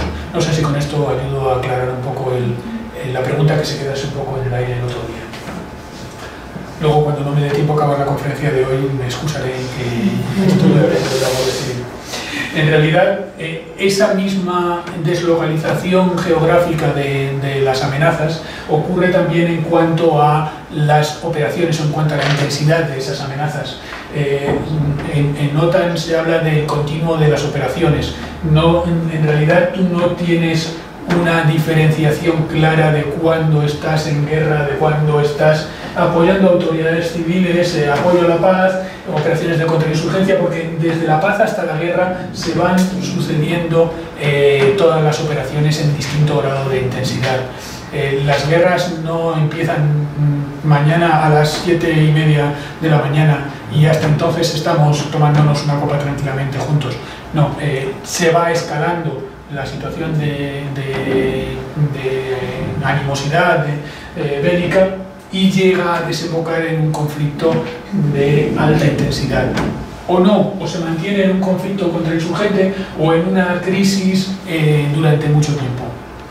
En realidad, el, el, concepto de guerra eh, jurídicamente ha perdido casi toda su validez. No se declara ninguna guerra desde, yo creo que, no sé si la, fue, la última fue Vietnam o Corea, pero vamos, estamos hablando ya de, de, hace más de 50 años que no se declara formalmente ninguna guerra.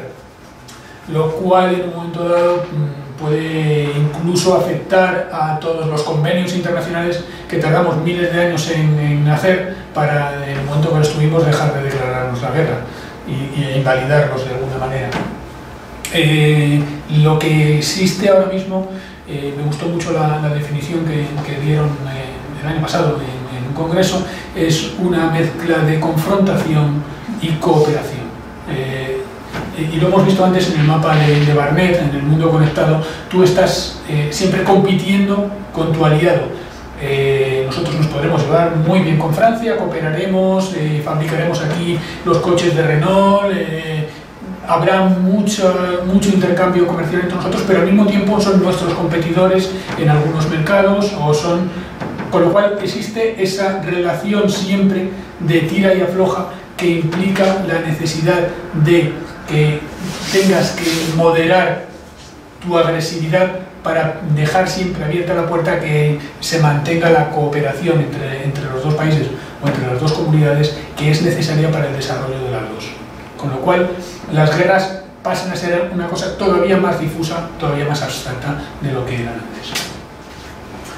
El, general de los marines Krulak eh, estableció hace unos años lo que él llamaba la guerra de los tres bloques y, nos ilustra de alguna manera eh, la complejidad del ambiente bélico ahora mismo. Él decía que las tropas podían estar en esta manzana desarrollando, eh, repartiendo ayuda humanitaria en la manzana siguiente de la misma ciudad en una misión de interposición eh, de, de, mantenimiento de la paz y en la siguiente manzana en un combate abierto con una insurgencia o con un enemigo.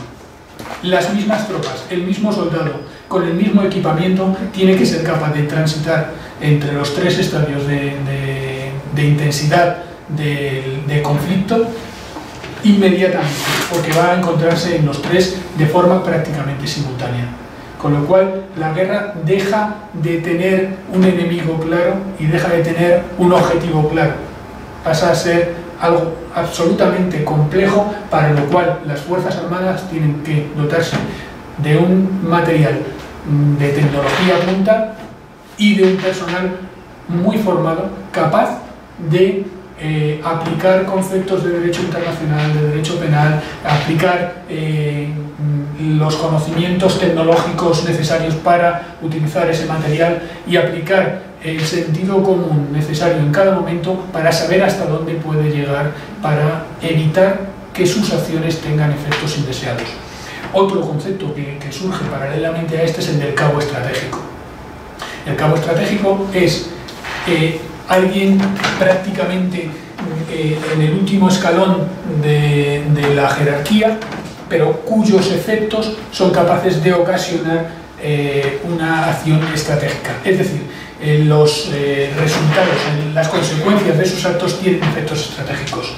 ¿Por qué? Porque si tú coges a un cabo en Afganistán que dejando un cadáver de un afgano, eso tiene una repercusión mediática que afecta estratégicamente a toda la misión de la OTAN o de eh, la coalición de ISAF en Afganistán.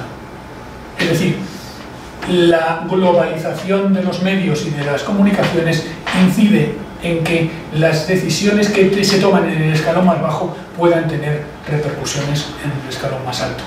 Y pasa lo mismo en el sentido contrario. Eh, en la guerra de Kosovo, eh, la, orden de disparo de un misil de un avión que estaba atacando un convoy o un puente no la da el piloto, la da el general que está viendo desde el cuartel general en vídeo lo mismo que está viendo el piloto y que con todos los datos de inteligencia que llegan al cuartel general le dice al piloto si puede disparar o no puede disparar. Luego las estructuras se achatan, se, acortan absolutamente y no hay prácticamente jerarquías.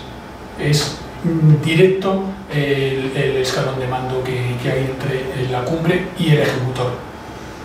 Eso complica muchísimo evidentemente eh, la formación del personal y la capacitación del personal, porque tiene que ser capaz de moverse en todos los niveles de, la decisión. Eh, la Unión Europea le llama Peacekeeping Operations, eh, las OTAN le llama Peace Support Operations. esta es la definición que da OTAN de las, de las misiones de paz, de las operaciones de paz, y habla de que son multifuncionales que deben estar conducidas de forma imparcial, que no significa neutral, sino que eh, lo que estás haciendo es evitar eh, mm, favorecer mm, a ninguno de los bloques, a ninguno de los contendientes. Mm, lo cual no significa que te laves las manos eh, ante lo que suceda, que es muy distinto.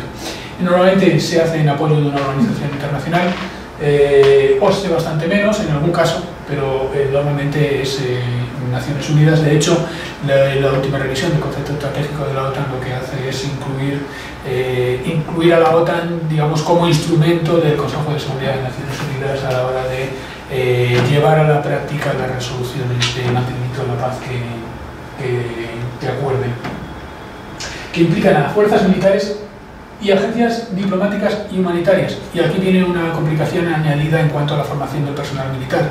Nosotros estábamos acostumbrados a tratar entre nosotros. Eh, nosotros hablábamos con otros militares, lenguaje militar. Eh, no solamente el lenguaje militar, sino la mentalidad militar que llevabas años eh, asimilando desde que ingresas en la academia. Eh, a partir de determinado momento se acaba eso. Tienes que empezar a colaborar con ONGs, tienes que empezar a colaborar con diplomáticos. En mi oficina somos dos militares y tres diplomáticos trabajando juntos. Mm, no podemos permitirnos el lujo de llegar hasta un jefe que nos coordine a los dos. No, la coordinación se tiene que hacer en todos los niveles y por lo tanto la preparación que implica para el personal también es mucho mayor de la que había antes. Eh, a los militares, eso sí, nos gusta mucho mm, clasificar las cosas, entonces hablamos de distintos tipos de operaciones de paz y van desde la diplomacia preventiva, las medidas de establecimiento de la paz, que aquí básicamente eh, en función del consentimiento que haya por parte de los eh, implicados directamente en ellas. eh, os dejaré la, presentación para que lo veáis con calma. Básicamente, en función del ambiente, la finalidad, eh, las actividades que se realizan y las actividades militares, que no tienen por qué ser las principales, se dan unas circunstancias u otras. Entonces, cuando hablamos de misiones de paz, no es lo mismo hablar de una misión de mantenimiento de la paz que una misión de imposición de la paz. E incluso se basan, como veremos ahora, también en conceptos legales distintos. Puede ser eh, artículo 6, el capítulo 6, capítulo 7, con lo cual cambia totalmente la naturaleza jurídica incluso de la misión que se está desarrollando a efectos Naciones Unidas. Eh, también podemos verlo en función de eh, la relación que hay entre el grado de consentimiento que dan las partes y la capacidad que tiene la fuerza. Eh, normalmente las misiones de mantenimiento de la paz eh, son consentidas por las partes en muy buena medida y no necesitan de unas grandes capacidades militares precisamente porque son consentidas. Si la capacidad de la fuerza es demasiado grande para una operación de peacekeeping, de mantenimiento, la fuerza estará sobredimensionada. Lo contrario ocurre cuando estás imponiendo la paz. Necesitas una fuerza eh, más sólida porque el grado de consentimiento de las partes es menor. Esto, dicho así, es muy fácil. El problema es cuando pasas de una misión de imposición de la paz a una misión de mantenimiento de la paz y tienes que transitar de una estructura de fuerzas en las que te has llevado eh, aviones de caza, carros blindados y tienes que pasar a una en la que necesitas aviones de transporte y necesitas ambulancias. Porque cambia el concepto de la operación, porque cambia el consentimiento que te da la fuerza. Entonces eh, el tránsito ese es más complejo porque si lo haces demasiado deprisa, tu fuerza se queda eh, demasiado poco dimensionada, infradimensionada para los requerimientos de seguridad de la misión y normalmente recibes bajas y si le haces demasiado eh, despacio estás manteniendo demasiados medios y dando una imagen demasiado agresiva en el país. Luego el tránsito es muy complejo de, hacer entre los dos tipos de misiones. A lo largo del tiempo también pues, se va viendo cómo van cambiando efectivamente las distintas misiones, cómo van adquiriendo un peso relativo distinto eh, las eh, funciones que se tienen que ir desarrollando. Esto eh, creo que son gráficos bastante autoexplicativos y eso eh, os dejo la, presentación y, los vais viendo. Eh, como decía antes, las, guerras no empiezan mañana a las siete y media, sino que se pasa de un estado de paz a un estado de, desacuerdo, de tensión, de confrontación, y en un momento dado estalla el conflicto armado. Pero no es que estalle de 0 a 100, sino que mm, definimos un momento de principio del conflicto armado por cualquier circunstancia más mediática que otra cosa, porque en realidad la curva estaba ya ascendiendo en esa, en esa dirección. Normalmente hoy, en día la, mm, la, porción de conflicto armado suele ser muy pequeña. Las guerras duran muy poco como tales guerras, como tales conflictos armados. Salvo que se permita eh, el, equilibrio de fuerzas a nivel internacional, como puede ser el caso de lo que está ocurriendo en Siria, eh, normalmente las necesidades logísticas de los ejércitos y la intensidad eh, la, intensidad con la que se puede luchar ahora mismo con, con la potencia que tienen las, las armas hace que las, que las guerras se acaben en cuestión de horas o de días. Eh, en el caso de que tuviéramos una guerra cibernética, probablemente estaríamos hablando de entre nanosegundos y milisegundos lo que duraría la guerra. Eh, la capacidad de reacción es mm, muy pequeña y en el caso del ciberespacio prácticamente nula eh, para poder enfrentarte, digamos, directamente. Otra cosa es que hagas una reacción dos semanas más tarde, que ya es una guerra totalmente distinta. en las guerras convencionales convencionales o no convencionales, pero me refiero en el mundo físico, cada vez se tiende más a eso. La guerra de los seis días hoy en día es una guerra larga, no, es, mm, no sería sostenible una guerra de, seis días entre dos potencias que, tuviesen suficiente armamento, eh, salvo que tuvieran la capacidad para generarlo. En la Segunda Guerra Mundial, sin ir más lejos, eh, los, eh, los países fabricaban aviones y fabricaban tanques durante la guerra como churros, muchísimos, miles. ahora mismo eh, sacar un avión de caza de una línea de producción, en el caso que tengas la línea de producción, que casi ningún país la tiene, te puede llevar para, para dos aviones una semana. Eh, evidentemente, mm, o tienes menos de dos bajas de aviones por semana, lo cual es impensable, o, al final vas perdiendo capacidad eh, aeronáutica. Lo mismo pasa con cualquier otro tipo de, armamento o tienes un suministro prácticamente infinito, como pasa durante la guerra de los seis días, durante esos seis días de armamento, o la, fase de conflicto es prácticamente eh, la menos eh, larga en, duración. La, más larga, curiosamente, es la de estabilidad. Leí esta mañana un artículo del general Odiermo, que es el jefe de, las eh, Fuerzas Armadas norteamericanas, del ejército, y él hablaba de que en, realidad mm, las guerras ya no tratan de destruir, sino que tratan de crear las condiciones para una negociación y tratan de convencer. en realidad las, guerras se luchan en los medios de comunicación y mm, los medios de comunicación entendido en el sentido amplio, incluyendo eh, las redes sociales, por ejemplo. Con lo cual es más importante la percepción de lo que está ocurriendo que lo que está ocurriendo realmente. Eh, para un requisito básico para una operación de paz es que existan las condiciones de seguridad mínimas, que es lo que proporcionan normalmente las Fuerzas Armadas, para poder efectivamente llevar a cabo las labores de reconstrucción, de desarrollo político y democrático y de ayuda humanitaria. Tú en realidad no estás eh, atacando al país, estás reconstruyendo su estructura política y social para que sea viable en el futuro. La mayor amenaza que hay ahora mismo para los países desarrollados son eh, los estados o, las eh, regiones no, gobernadas o con, insuficiente gobernanza, lo que se llaman los estados fallidos, donde es más fácil que, proliferen eh, las amenazas transnacionales, terrorismo, evidentemente las ciberamenazas y también el crimen organizado en, estados como Somalia, que es el paradigma, o, Afganistán, de un estado sin una gobernanza fuerte, es donde nacen las amenazas para el resto del mundo.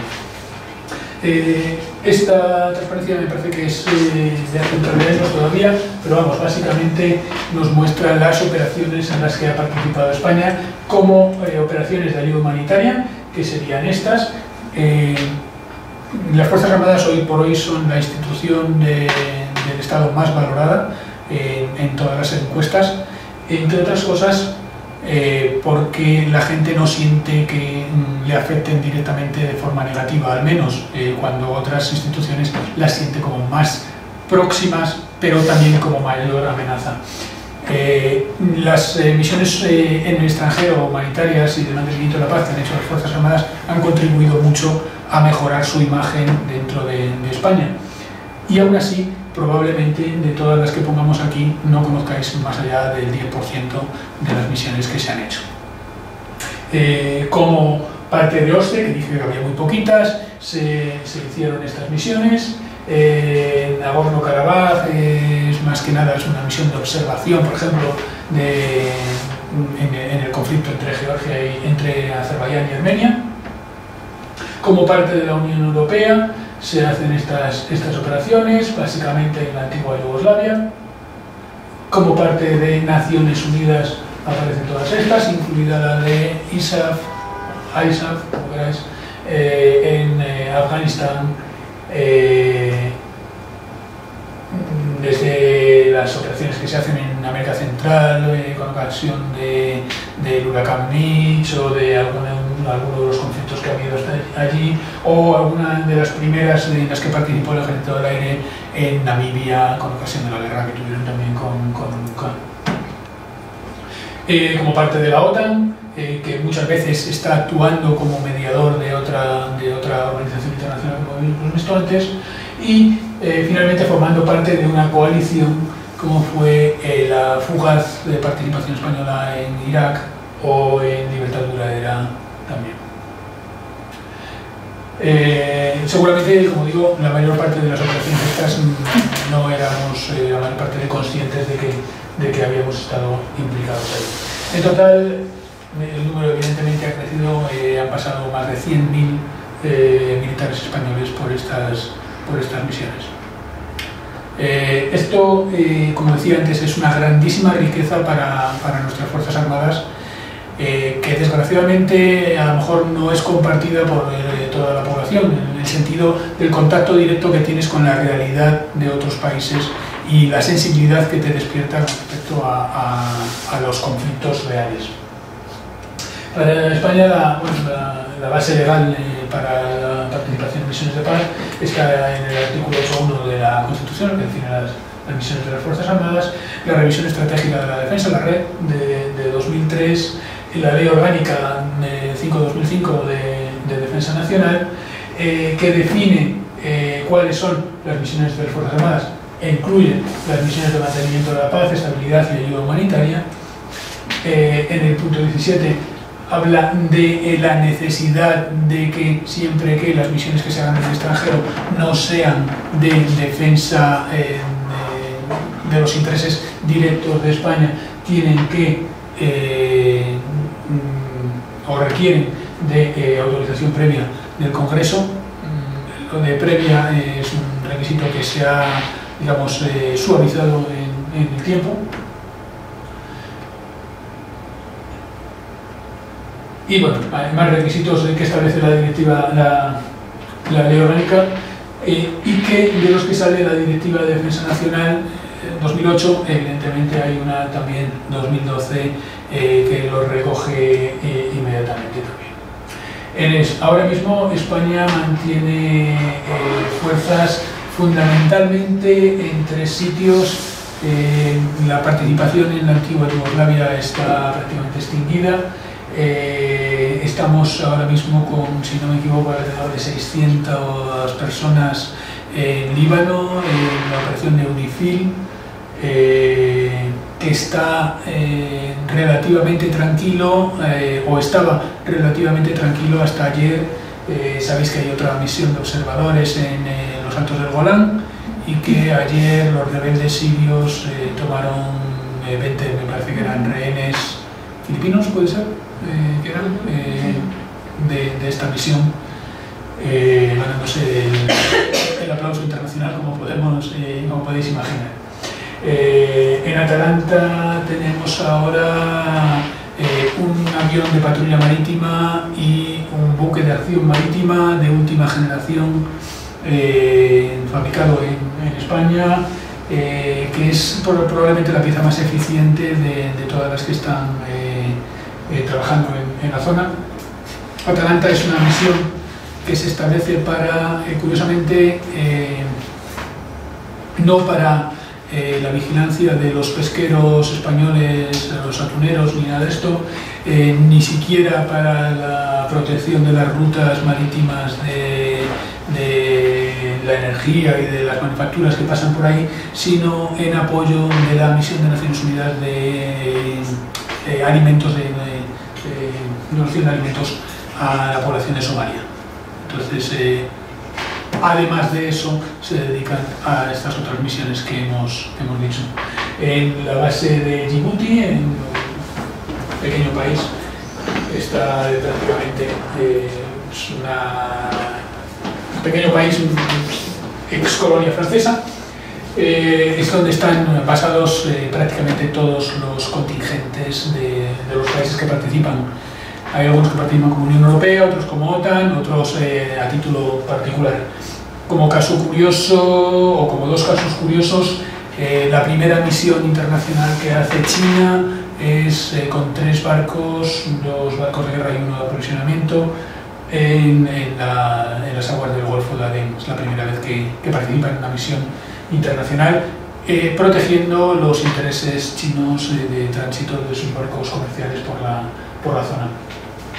Eh, a título de, curiosidad, la primera vez que van, no tenían, los chinos no tenían ninguna experiencia en salir de, sus aguas territoriales y tuvieron hasta casos de escorbuto en, los barcos porque no sabían, eso de mantenerse durante varios meses navegando no, no sabían cómo se hacía que el arroz se le puso, se le pasó o el arroz o alguna cosa. ¿no? Eh, y eh, otra curiosidad más relacionada con el tema del derecho, eh, me imagino que conocéis el artículo 9 de la Constitución de Japón, un artículo que lo define como un país eh, pacifista y, que en realidad no tiene fuerzas armadas, sino unas fuerzas de autodefensa. La primera base que establece Japón fuera de su país eh, desde la Segunda Guerra Mundial es en Djibouti, para albergar los barcos y aviones que están participando en defensa de los intereses japoneses eh, dentro de las operaciones que se desarrollan allí contra la piratería. La tercera misión es eh, la de ISAF, donde eh, bueno, estamos ahora mismo en pleno proceso de repliegue de las fuerzas españolas. acaba de cerrarse los dos días de atrás uno de los puestos avanzados que teníamos en la provincia de Bandís. Básicamente estamos en la zona oeste del país en la base de Herat, que es la capital de la región oeste, y en eh, la capital de la provincia de Bagdís, que es Kaleinau. Y teníamos dos puestos avanzados en Mokur y en, y en Udina.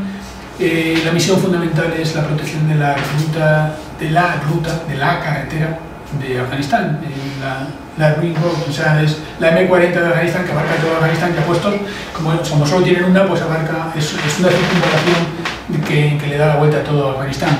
Cuando digo carretera, a lo mejor estoy exagerando, pero vamos, para entendernos, eh, como los italianos que le llaman superestrada cada cosa que también hay que, hay que verla. ¿no?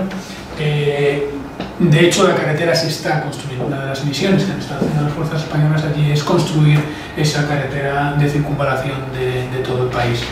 Eh, la ruta de la seda, eh, efectivamente, era una ruta de la seda, era, la ruta, era la única que había. Es el único camino que había. Por cierto, pasa por Herat, eh, donde, están, donde se van a quedar los españoles cuando terminemos el repliegue, va a ser el sitio donde seguramente nos queremos según las declaraciones del, ministro de Defensa, la intención es permanecer a partir de 2014 con un pequeño contingente allí, siguiendo, eh, ayudando en el proceso de eh, transición de Afganistán eh, hacia un Estado sostenible por sí mismo e integrado dentro de la comunidad internacional. son países que en realidad por sí mismos no pueden hacerlo eh, necesitan de la, ayuda, de la ayuda internacional. Para la OTAN, eh, la OTAN, el Tratado de Washington, que es el que la crea, eh, tiene el, artículo 5 de defensa colectiva que lo que establece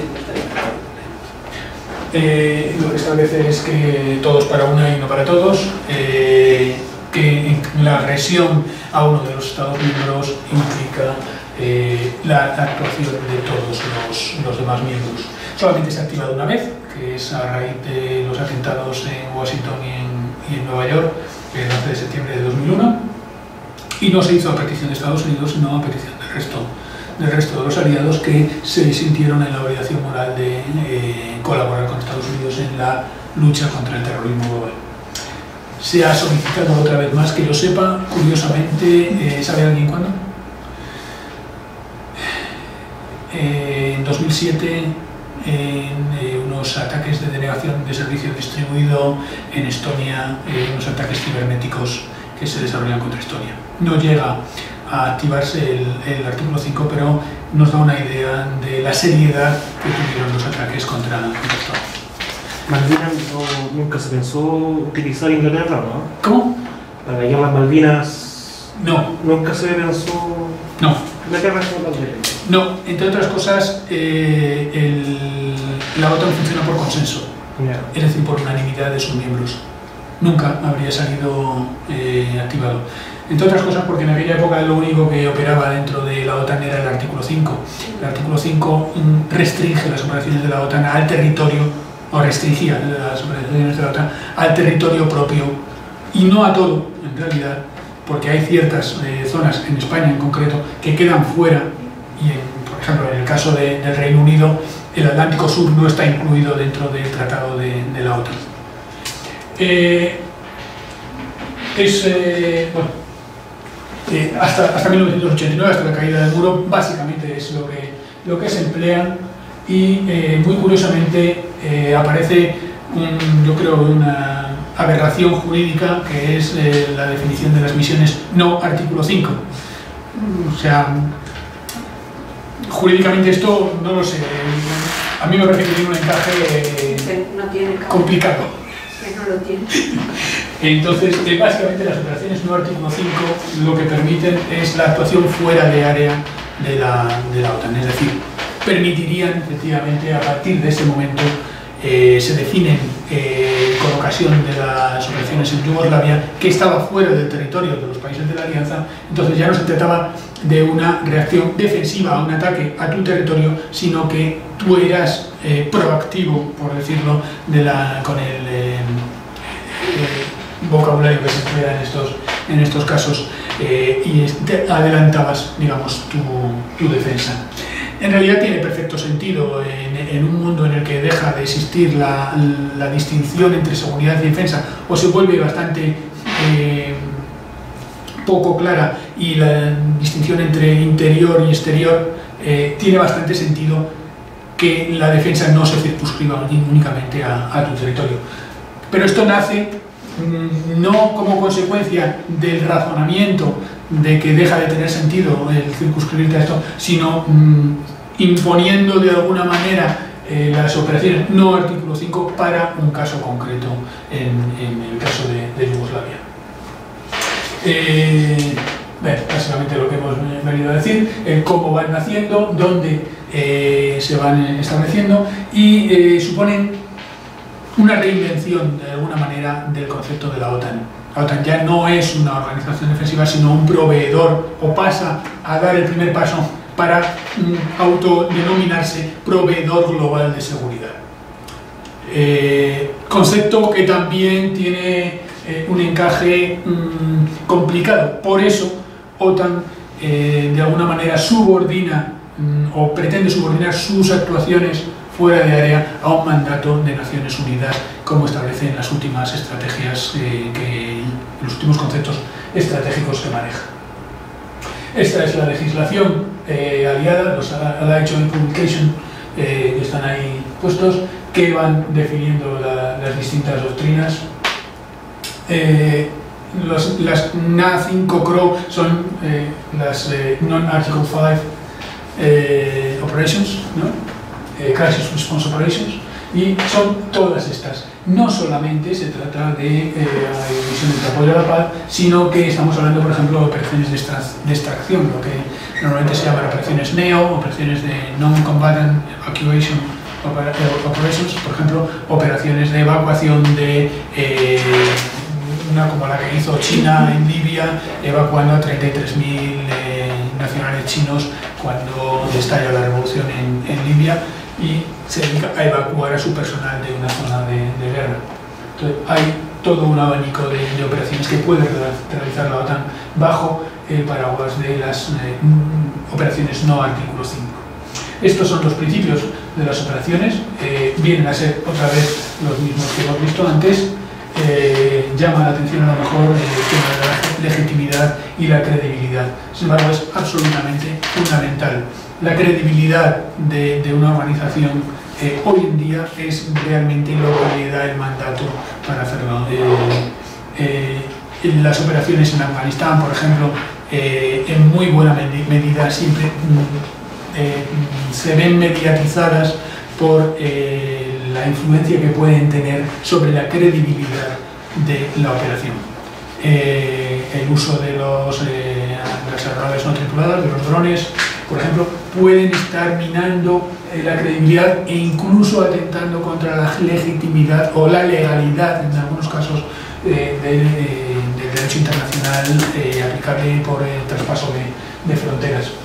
Con lo cual, las operaciones que se realizan por OTAN y por Naciones Unidas en general son muy sensibles a estos, a estos temas de legitimidad y de credibilidad. Eh, sin embargo, eh, evidentemente, eh, para seguir haciendo su función, la función de, de la OTAN sigue siendo la defensa de los países miembros, necesita, igual que los ejércitos de todo el mundo, mantener sus capacidades para operar en todo el espectro de los conflictos, es decir, desde el repartir mantas y bocadillos hasta una guerra nuclear. la OTAN y los ejércitos, eh, el gran reto que tienen marcado es mm, con unos medios cada vez más reducidos. Tengamos en cuenta que la OTAN eh, tiene, mm, sugiere a sus miembros que eh, no se dediquen menos del 2% del Producto Interior Bruto a defensa y España está alrededor de un 0,56 ahora mismo, es decir, estamos prácticamente cuatro veces por debajo del presupuesto que deberíamos tener según las, las guías de, de OTAN. Con esos escasos medios hay que seguir manteniendo las capacidades de defensa física y tradicional del territorio del país y hacerse cargo de todo este otro tipo de misiones. Además de misiones de diplomacia, de defensa y de tener en cuenta factores eh, como la credibilidad, la legitimidad y otros que también requieren recursos y que condicionan el uso de los que tienes, haciéndolos muchas veces menos eficientes, por lo menos en cuanto a la operación propiamente dicha. La OTAN creó las eh, NATO Reaction Forces en su día, que son unos, eh, unas fuerzas que no son creadas específicamente para esto, sino que se agrupan, son eh, 60.000 personas, eh, que es- están dedicados a responder en un momento dado ante una crisis. Eh, son parte de, las fuerzas de los países que se van poniendo de forma rotatoria a disposición de la OTAN para eh, atender a una crisis. La única vez que se activa, la activa España precisamente en respuesta al eh, terremoto de Pakistán en eh, 2005, si no me, si no me.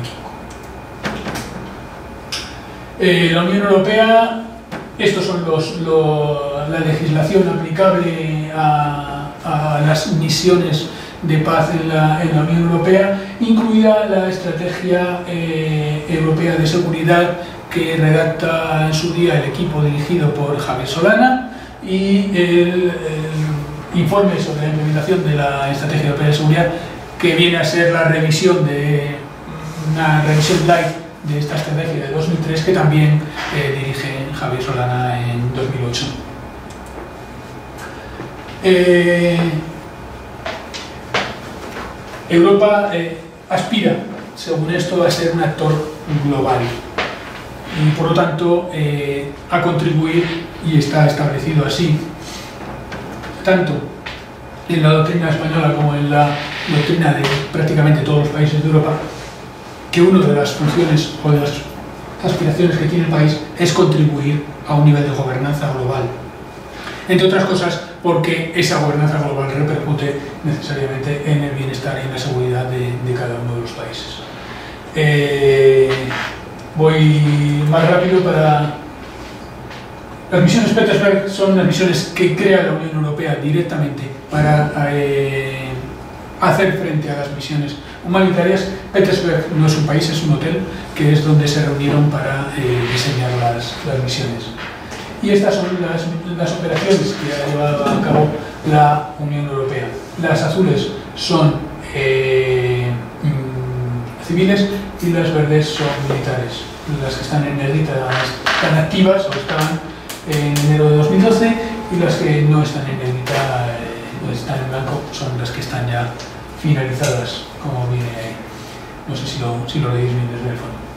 Eh, en cualquier caso, eh, veréis que hay algunas duplicidades eh, con otras operaciones que se llevan a cabo por parte de otras, de otras eh, eh, organizaciones. Legislación aplicable respecto a Naciones Unidas, es muy fácil de encontrar toda en, en Internet. El informe Brahimi, muy curioso porque Brahimi después es el, el negociador argelino que está mediando en el conflicto de, de Siria, curiosamente, eh, que sustituye a, a ¿no? Más eh, de misiones, esas son las misiones de, de la ONU y un repaso rápido a las misiones que están eh, actualmente en, en vigor de ONU. Empezamos con, bueno, empezamos con MINURSO, que es una misión es de las más antiguas en realidad del, del conflicto de- del Sáhara, desde el 75, eh, a la espera de una resolución sobre el estatuto final del Sáhara Occidental, bien como parte del Reino de Marruecos, bien como entidad independiente y evidentemente que se ve muy afectada por los actuales acontecimientos en el Sahel, en eh, Malí, en eh, Mauritania y donde el Frente Polisario está teniendo un papel también activo. Esa sería MINURSO. La siguiente, eh, UNAMID, está en, es la zona de Darfur. Eh, se crea eh, de nuevo por una disputa entre agricultores y ganaderos básicamente y por eh, problemas también, factores energéticos entre la zona de Chad y eh, de Sudán. Eh, tuvimos también destacados ahí, eh, creo que eran dos aviones y algunas tropas haciendo interposición y reparto de, ayuda. Era muy significativo cuando nos explicaban el caso, la distancia entre las dos principales ciudades era, era, un insulto, eran 20 minutos de vuelo o 16 horas de carretera. Entonces, eh, los aviones jugaban un papel realmente importante. Eh, por eso mm, mm, incido en esto porque estamos acostumbrados a, la mentalidad europea o, occidental en general de pensar en llanuras y pensar en, grandes autopistas. Eh, en estos países muchas veces el tener un avión o el tener un helicóptero supone una diferencia enorme entre llegar o no llegar. Un MIG, la que tuve muy discreto papel en su, en su día, eh, es la United Nations Mission en Kosovo. Eh, Kosovo eh, también daría para una conferencia completa en el terreno del derecho y en algunos otros terrenos en el de las relaciones internacionales. Me están grabando, mejor no meto en machacos. Minusta. Minusta es la operación favorita de muchos en, eh, con respecto a Haití. eh, en principio con el tema del terremoto y después con los disturbios que hay. Eh, es una operación en la que despliegas, en el otro lado fue Galicia, en este caso fue Castilla, o un barco similar. Eh, estos barcos tienen unas características igual que el Juan Carlos I, el, el portaaviones que nos queda, digamos, eh, después de, de, de de, o de la retirada del Príncipe de Asturias. Estos barcos eh, los anclas en puerto y son capaces de depurar agua suficiente para toda la ciudad en la que están eh, anclados y de producir energía eléctrica para, para, estamos hablando de ciudades como Puerto Príncipe, eh, para toda la ciudad como Puerto Príncipe. Con lo cual no solamente estás proporcionando el mayor hospital que tiene la ciudad, sino que también estás proporcionando el mayor cuerpo de bomberos, la mayor central eléctrica, la mayor depuradora de agua y todos los servicios básicos que necesita una ciudad como esta. Luego los barcos eh, españoles, prácticamente todos ellos construidos por Navantia, de producción nacional, que se están vendiendo perfectamente por ahí, se están exportando. Australia ha comprado, Australia, nada menos que Australia, ha comprado dos eh, barcos como el Juan Carlos I. Eh, aparte de las labores propias de la defensa, tienen otras funciones también, igual que los aviones de, del ejército de aire. Eh, de ahí lo que comentaba antes yo de la dificultad de ir embarcado en un barco de, en un barco de estos, por ejemplo, y, tener que ser capaz de eh, convertirte en bombero o en, o en ingeniero o en albañil o, eh, estar haciendo una operación de guerra mm, convencional total la formación de, de personal, evidentemente, cuando estás muy lejos de, de tu país y estás representando además eh, no solamente a España, sino en muchos casos a Europa o a Occidente, es, es, eh, es muy distinta al de los ejércitos que había hace unos pocos años. Liberia es uno de los casos en los que eh, la guerra civil se basaba, como decíamos antes, en esa maldición de los recursos o enfermedad holandesa y estuvieron eh, Liberia, que debería ser el país eh, modélico en cuanto a eh, la igualdad, el respeto, y, pues entró en una guerra civil exactamente igual que Costa de Marfil, que era el caso que tenía antes de que cuando Leonardo DiCaprio acabó con los, eh, con los diamantes de sangre empezaron a cortar árboles de maderas preciosas para financiar la, la guerra civil. Eh, en este caso eh, tenemos eh, otro de los temas que hemos tocado antes, Jammu y Kashmir, o nosotros simplificamos, lo llamamos a todo. Cachemira eh, es una zona dividida entre China, Pakistán e India y eh, que ahora mismo sigue teniendo gran importancia. Teniendo gran importancia y gran actualidad. Tajik Talibán, eh, Tajik Talibán eh, Pakistán, el TTP, uno de los grupos terroristas más importantes que hay, opera aquí, opera en Afganistán, se forman en un sitio, se forman eh, y operan en, el otro. Luego, eh, estos al mismo tiempo son los responsables de los atentados, por ejemplo en Mumbai, Mumbai de los hoteles que pillaron descalza a, a nuestra entonces presidenta de la, de la comunidad. Eh, un MIT eh, Timor-Leste, en, en Indonesia, aquí estaban llevando los aviones eh, indonesios a sus fuerzas mientras nosotros estábamos repartiendo ayuda humanitaria en, en Bangladesh. Eh, UNSO es una, una de las misiones que hay en Oriente Medio. eh, en, en la zona de, de alrededor de Israel hay varias. Eh, esta es la que se acaba de crear eh, con eh, la división de Sudán y Sur Sudán para intentar mantener la zona fronteriza que coincide casualmente con que es la zona petrolífera, la zona de Abey, de es la, zona en disputa ahora mismo por los dos países. Un MIS que es la que está dentro de, de Sudán del Sur eh, intentando mm, darle una oportunidad al país eh, para que empiece a desarrollar sus instituciones y convertirse en un país viable. MONUSCO, eh, MONUSCO tiene, bueno, esto de Misión Imposible tienen la misma banda sonora prácticamente. La República del Zaire es un país enorme. MONUSCO mm, intenta, bueno, la zona, la zona más, más eh, eh, conflictiva son, es la de los Kibus, Kivu del norte, Kivu del sur. eh, ahí están los mismos Hutus y Tutsis que se estuvieron masacrando mutuamente en Ruanda. Pasan al otro lado y detrás de todo este conflicto está fundamentalmente las minas de coltán, eh, columbita y tantanita, me parece que es la mezcla de, de los minerales que se utiliza en las baterías de los teléfonos móviles, por ejemplo, y eh, los diamantes. El país probablemente más rico por metro cuadrado en recursos naturales del mundo es eh, la República Democrática del Congo, por lo tanto es eh, el más deseado de los países y el que más problemas tiene y el más muertos.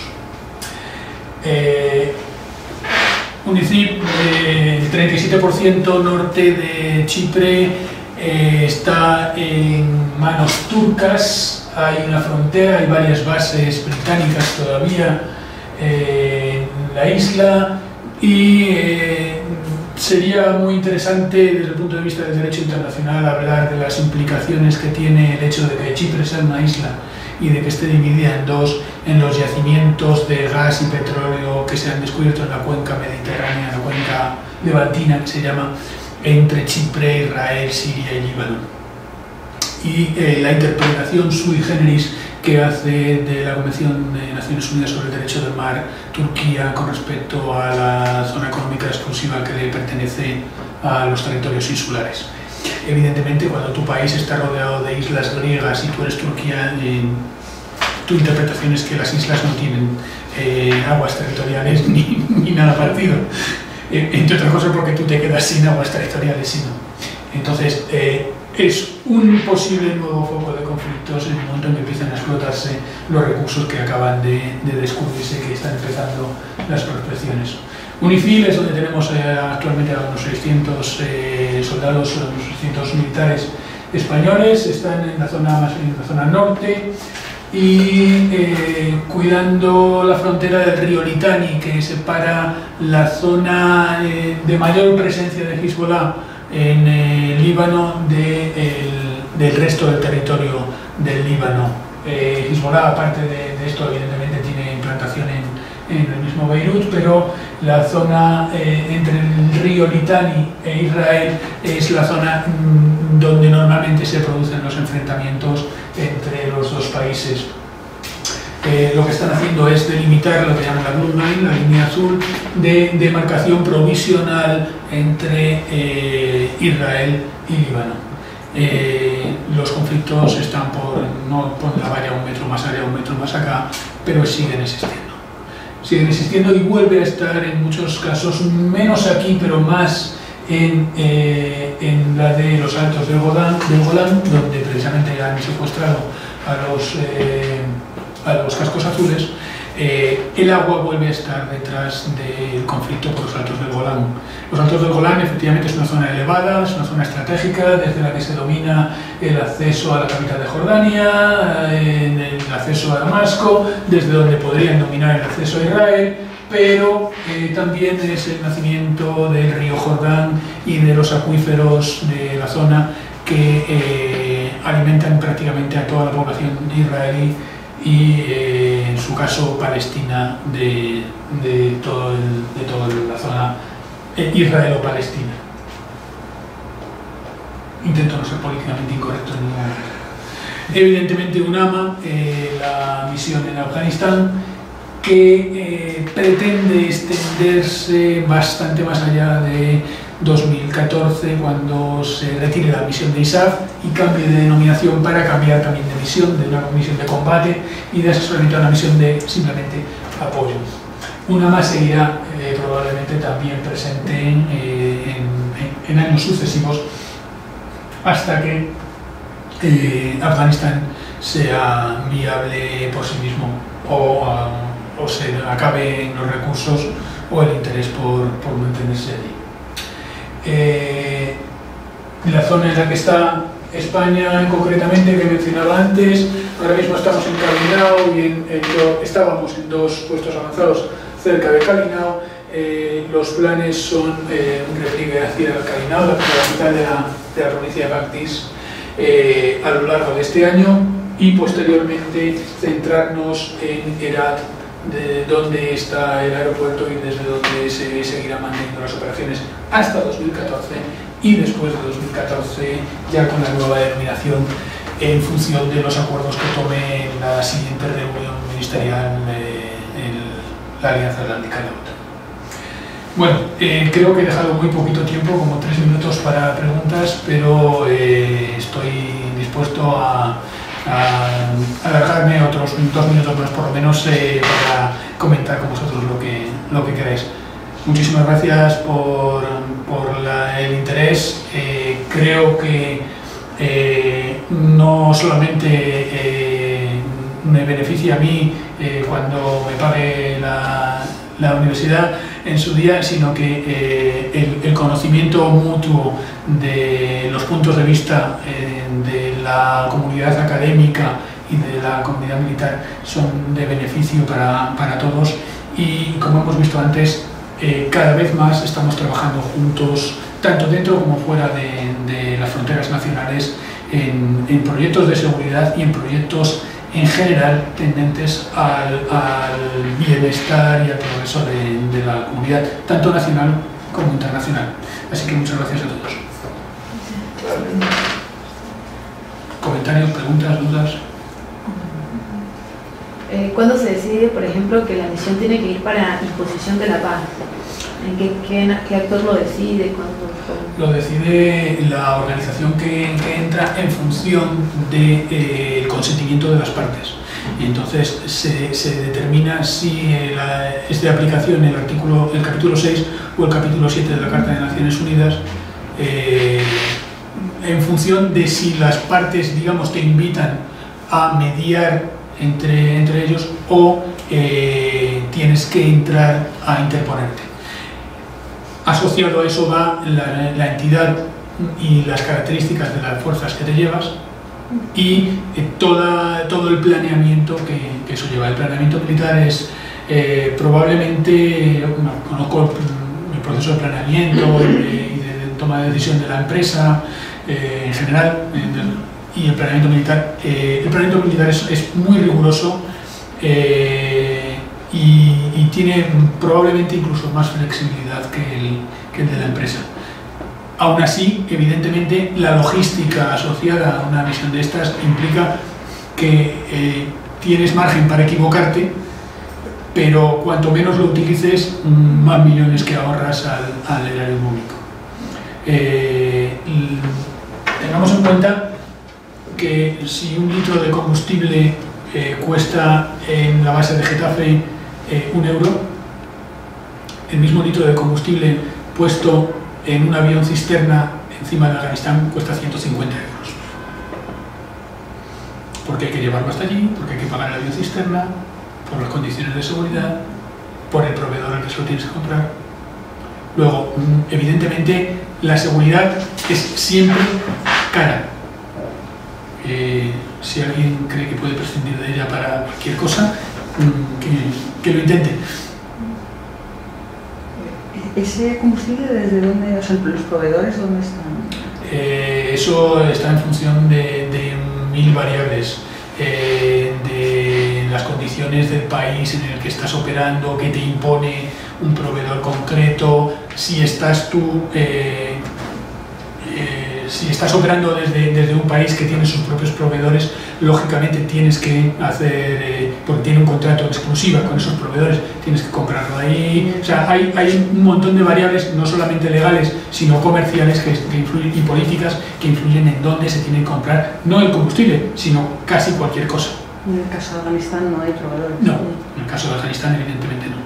Pero vamos, en el caso de Afganistán tienes que llevarte el combustible allí o comprarlo en Uzbekistán, eh, que produce combustible, hacer los análisis correspondientes de control de calidad eh, con equipos que tienes que trasladar allí para hacer esos análisis, montarlo en una cisterna que consume a su vez el mismo eh, combustible. Eh, evidentemente el, precio se dispara para cualquier cosa. El traslado de- de un avión allí consume combustible de llevar el avión. El de un helicóptero, por ejemplo, consume combustible del avión que lleva el helicóptero, porque no puede ir volando un helicóptero hasta allí. Entonces, mm, la logística militar es eh, muy, muy compleja y cada vez más. Eh, mm, en cuanto a los repuestos, eh, se tiende a que, a que las unidades, eh, a que las piezas y que los, eh, los equipos sean lo más homogéneos posibles para todos los aliados. Pero evidentemente ahí entran consideraciones de industria nacional también. Eh, si los franceses se llevan el Rafale y los ingleses se llevan el Eurofighter, la comunidad de piezas que tienen para eh, el mantenimiento de los dos sistemas es mínima, con lo cual se tienen que llevar, tienen que desplegar dos veces la logística de esos aviones. Pero consideraciones políticas nacionales y de industria obligan a que vayan con esos aviones. Entonces, eh, la parte militar no, no se preocupa o no tiene nada que decir con respecto a ese tipo de consideraciones, pero sí sufre muchas veces las consecuencias de decisiones políticas, comerciales o, legales que le afectan en, en los despliegues. Los despliegues, evidentemente, todos los despliegues llevan su asesor político y su asesor legal. Eh, es una pieza fundamental eh, y os invito a, explorar la, la vía de- de- del cuerpo jurídico eh, militar o de como reservistas voluntarios o bien entrando en, en organizaciones internacionales, explorar la vía de los asesores jurídicos para operaciones militares. Para un internacionalista, por ejemplo, eh, debe ser realmente apasionante. Eh, la cantidad de implicaciones que tienen los tratados, el cambio de escenarios constante en el que te estás moviendo, es, es un, un tema realmente complejo y desde mi punto de vista muy interesante. Eso, eso voy a preguntar justamente al final. El campo laboral para los civiles. ¿Cómo quién lo organiza? Naciones Unidas, OEA, el caso americano, OTAN, ¿O hay ONG también que participan? Hay ONG que participan, lo que pasa es que las ONGs, eh, bueno, hay algunas que tienen servicios jurídicos, hay algunas que son dos personas, entonces eh, si no coincide que uno de los dos sea abogado, pues no, no tiene servicios jurídicos, pues no puede costeárselo. Eh, normalmente la- los asesores legales eh, son parte de, de Naciones Unidas, no son parte de Naciones Unidas, van como parte de Naciones Unidas, pero eh, no necesariamente son personal de Naciones Unidas, sino que los designan o bien los países o bien, la, o bien Naciones Unidas de un pool de, personas. No sé exactamente eh, la forma de, de aplicar, de- de postularse para, para el cargo, pero mm, creo, creo que es una, una opción realmente interesante y que eh, para gente inquieta, como evidentemente tenéis que ser para estar aquí, eh, es, es muy atractiva en el sentido de, de la cantidad de oportunidades que te da para conocer o para profundizar en, en un montón de temas absolutamente dispares, porque date cuenta que eh, cuando eres el asesor legal de una operación mm, de mantenimiento de la paz en Afganistán, tú eres el Ministerio de Justicia de la OTAN allí, o sea, tú eres, eres, tú eres la ley allí, eres, eres el, el- intérprete de la ley allí, no la ley, eres el intérprete de la ley allí, eres el que tiene que abarcar absolutamente todos los campos que se dan allí, tanto de relaciones internacionales como eh, a nivel interno, eh, los problemas legales que puedan surgir. ¿Os ha preguntado? Una pregunta, bueno, es una pregunta un poco general, más que nada es una opinión. Eh, me llama mucha atención la privatización de la seguridad Sí. y quería preguntar su opinión. Eh, la privatización de la seguridad es una consecuencia de, de la difusión, de, de- de lo difuso que se ha vuelto el, el concepto de seguridad y de la globalización.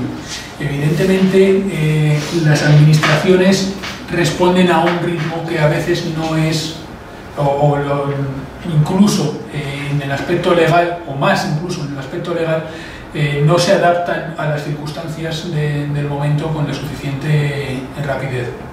Con lo cual, mm, aparecen nichos de mercado para eh, otras organizaciones que proveen esos servicios que son necesarios para las empresas que sí están operando globalmente antes de que se produzca la adaptación. El problema es que eh, estas organizaciones eh, privadas de seguridad muchas veces no tienen asesores eh, jurídicos. Vamos, sí tienen asesores jurídicos, pero no los utilizan para eso, sino para otras cosas. Eh, y eh, operan eh, al borde de la ley del lado de allá normalmente. Eh, es peligroso, pero al mismo tiempo es consecuencia de las inercias que hay eh, a nivel eh, de administración y, eh, sobre todo en el caso de la justicia que se mueve particularmente lenta en, estos espinosos asuntos. Eh, el caso que más me conozco, el de la Convención de, de- la Ley del Mar, ¿no? ¿Cuánto se tarda en elaborar la Convención de, la Ley del Mar? Para cuando terminas de elaborarla, ¿cuántas excepciones hay a la norma? Y cuando terminas con las excepciones, ¿quién la ratifica? Y si hubiéramos terminado con las ratificaciones, y hay algunos países muy importantes que todos conocéis que no la han ratificado, ya están saliendo circunstancias absolutamente novedosas que dices, "Mm, bueno, ¿y esto mm, cómo aplicamos aquí la convención? Con lo cual, el, el ritmo acelerado de la globalización y de, y de la, de la tecnología ahora mismo está imponiendo condiciones para las que ni las administraciones ni los sistemas legales tienen respuesta eh, hasta bastante tiempo después. Eh, las eh, organizaciones de seguridad privadas son, desde mi punto de vista absolutamente particular, como todo lo que he dicho hoy, desde mi punto de vista absolutamente particular, son un peligro potencial y una fuente de inestabilidad futura en, eh, distintos escenarios. Porque estas eh, organizaciones eh, se crean, crecen, se reproducen, pero luego hay que matarlas. Y es muy difícil. Entonces, si no existe un nicho de mercado, lo crean.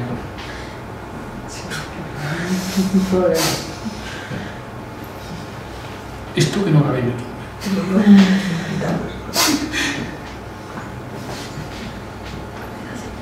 Sí, no,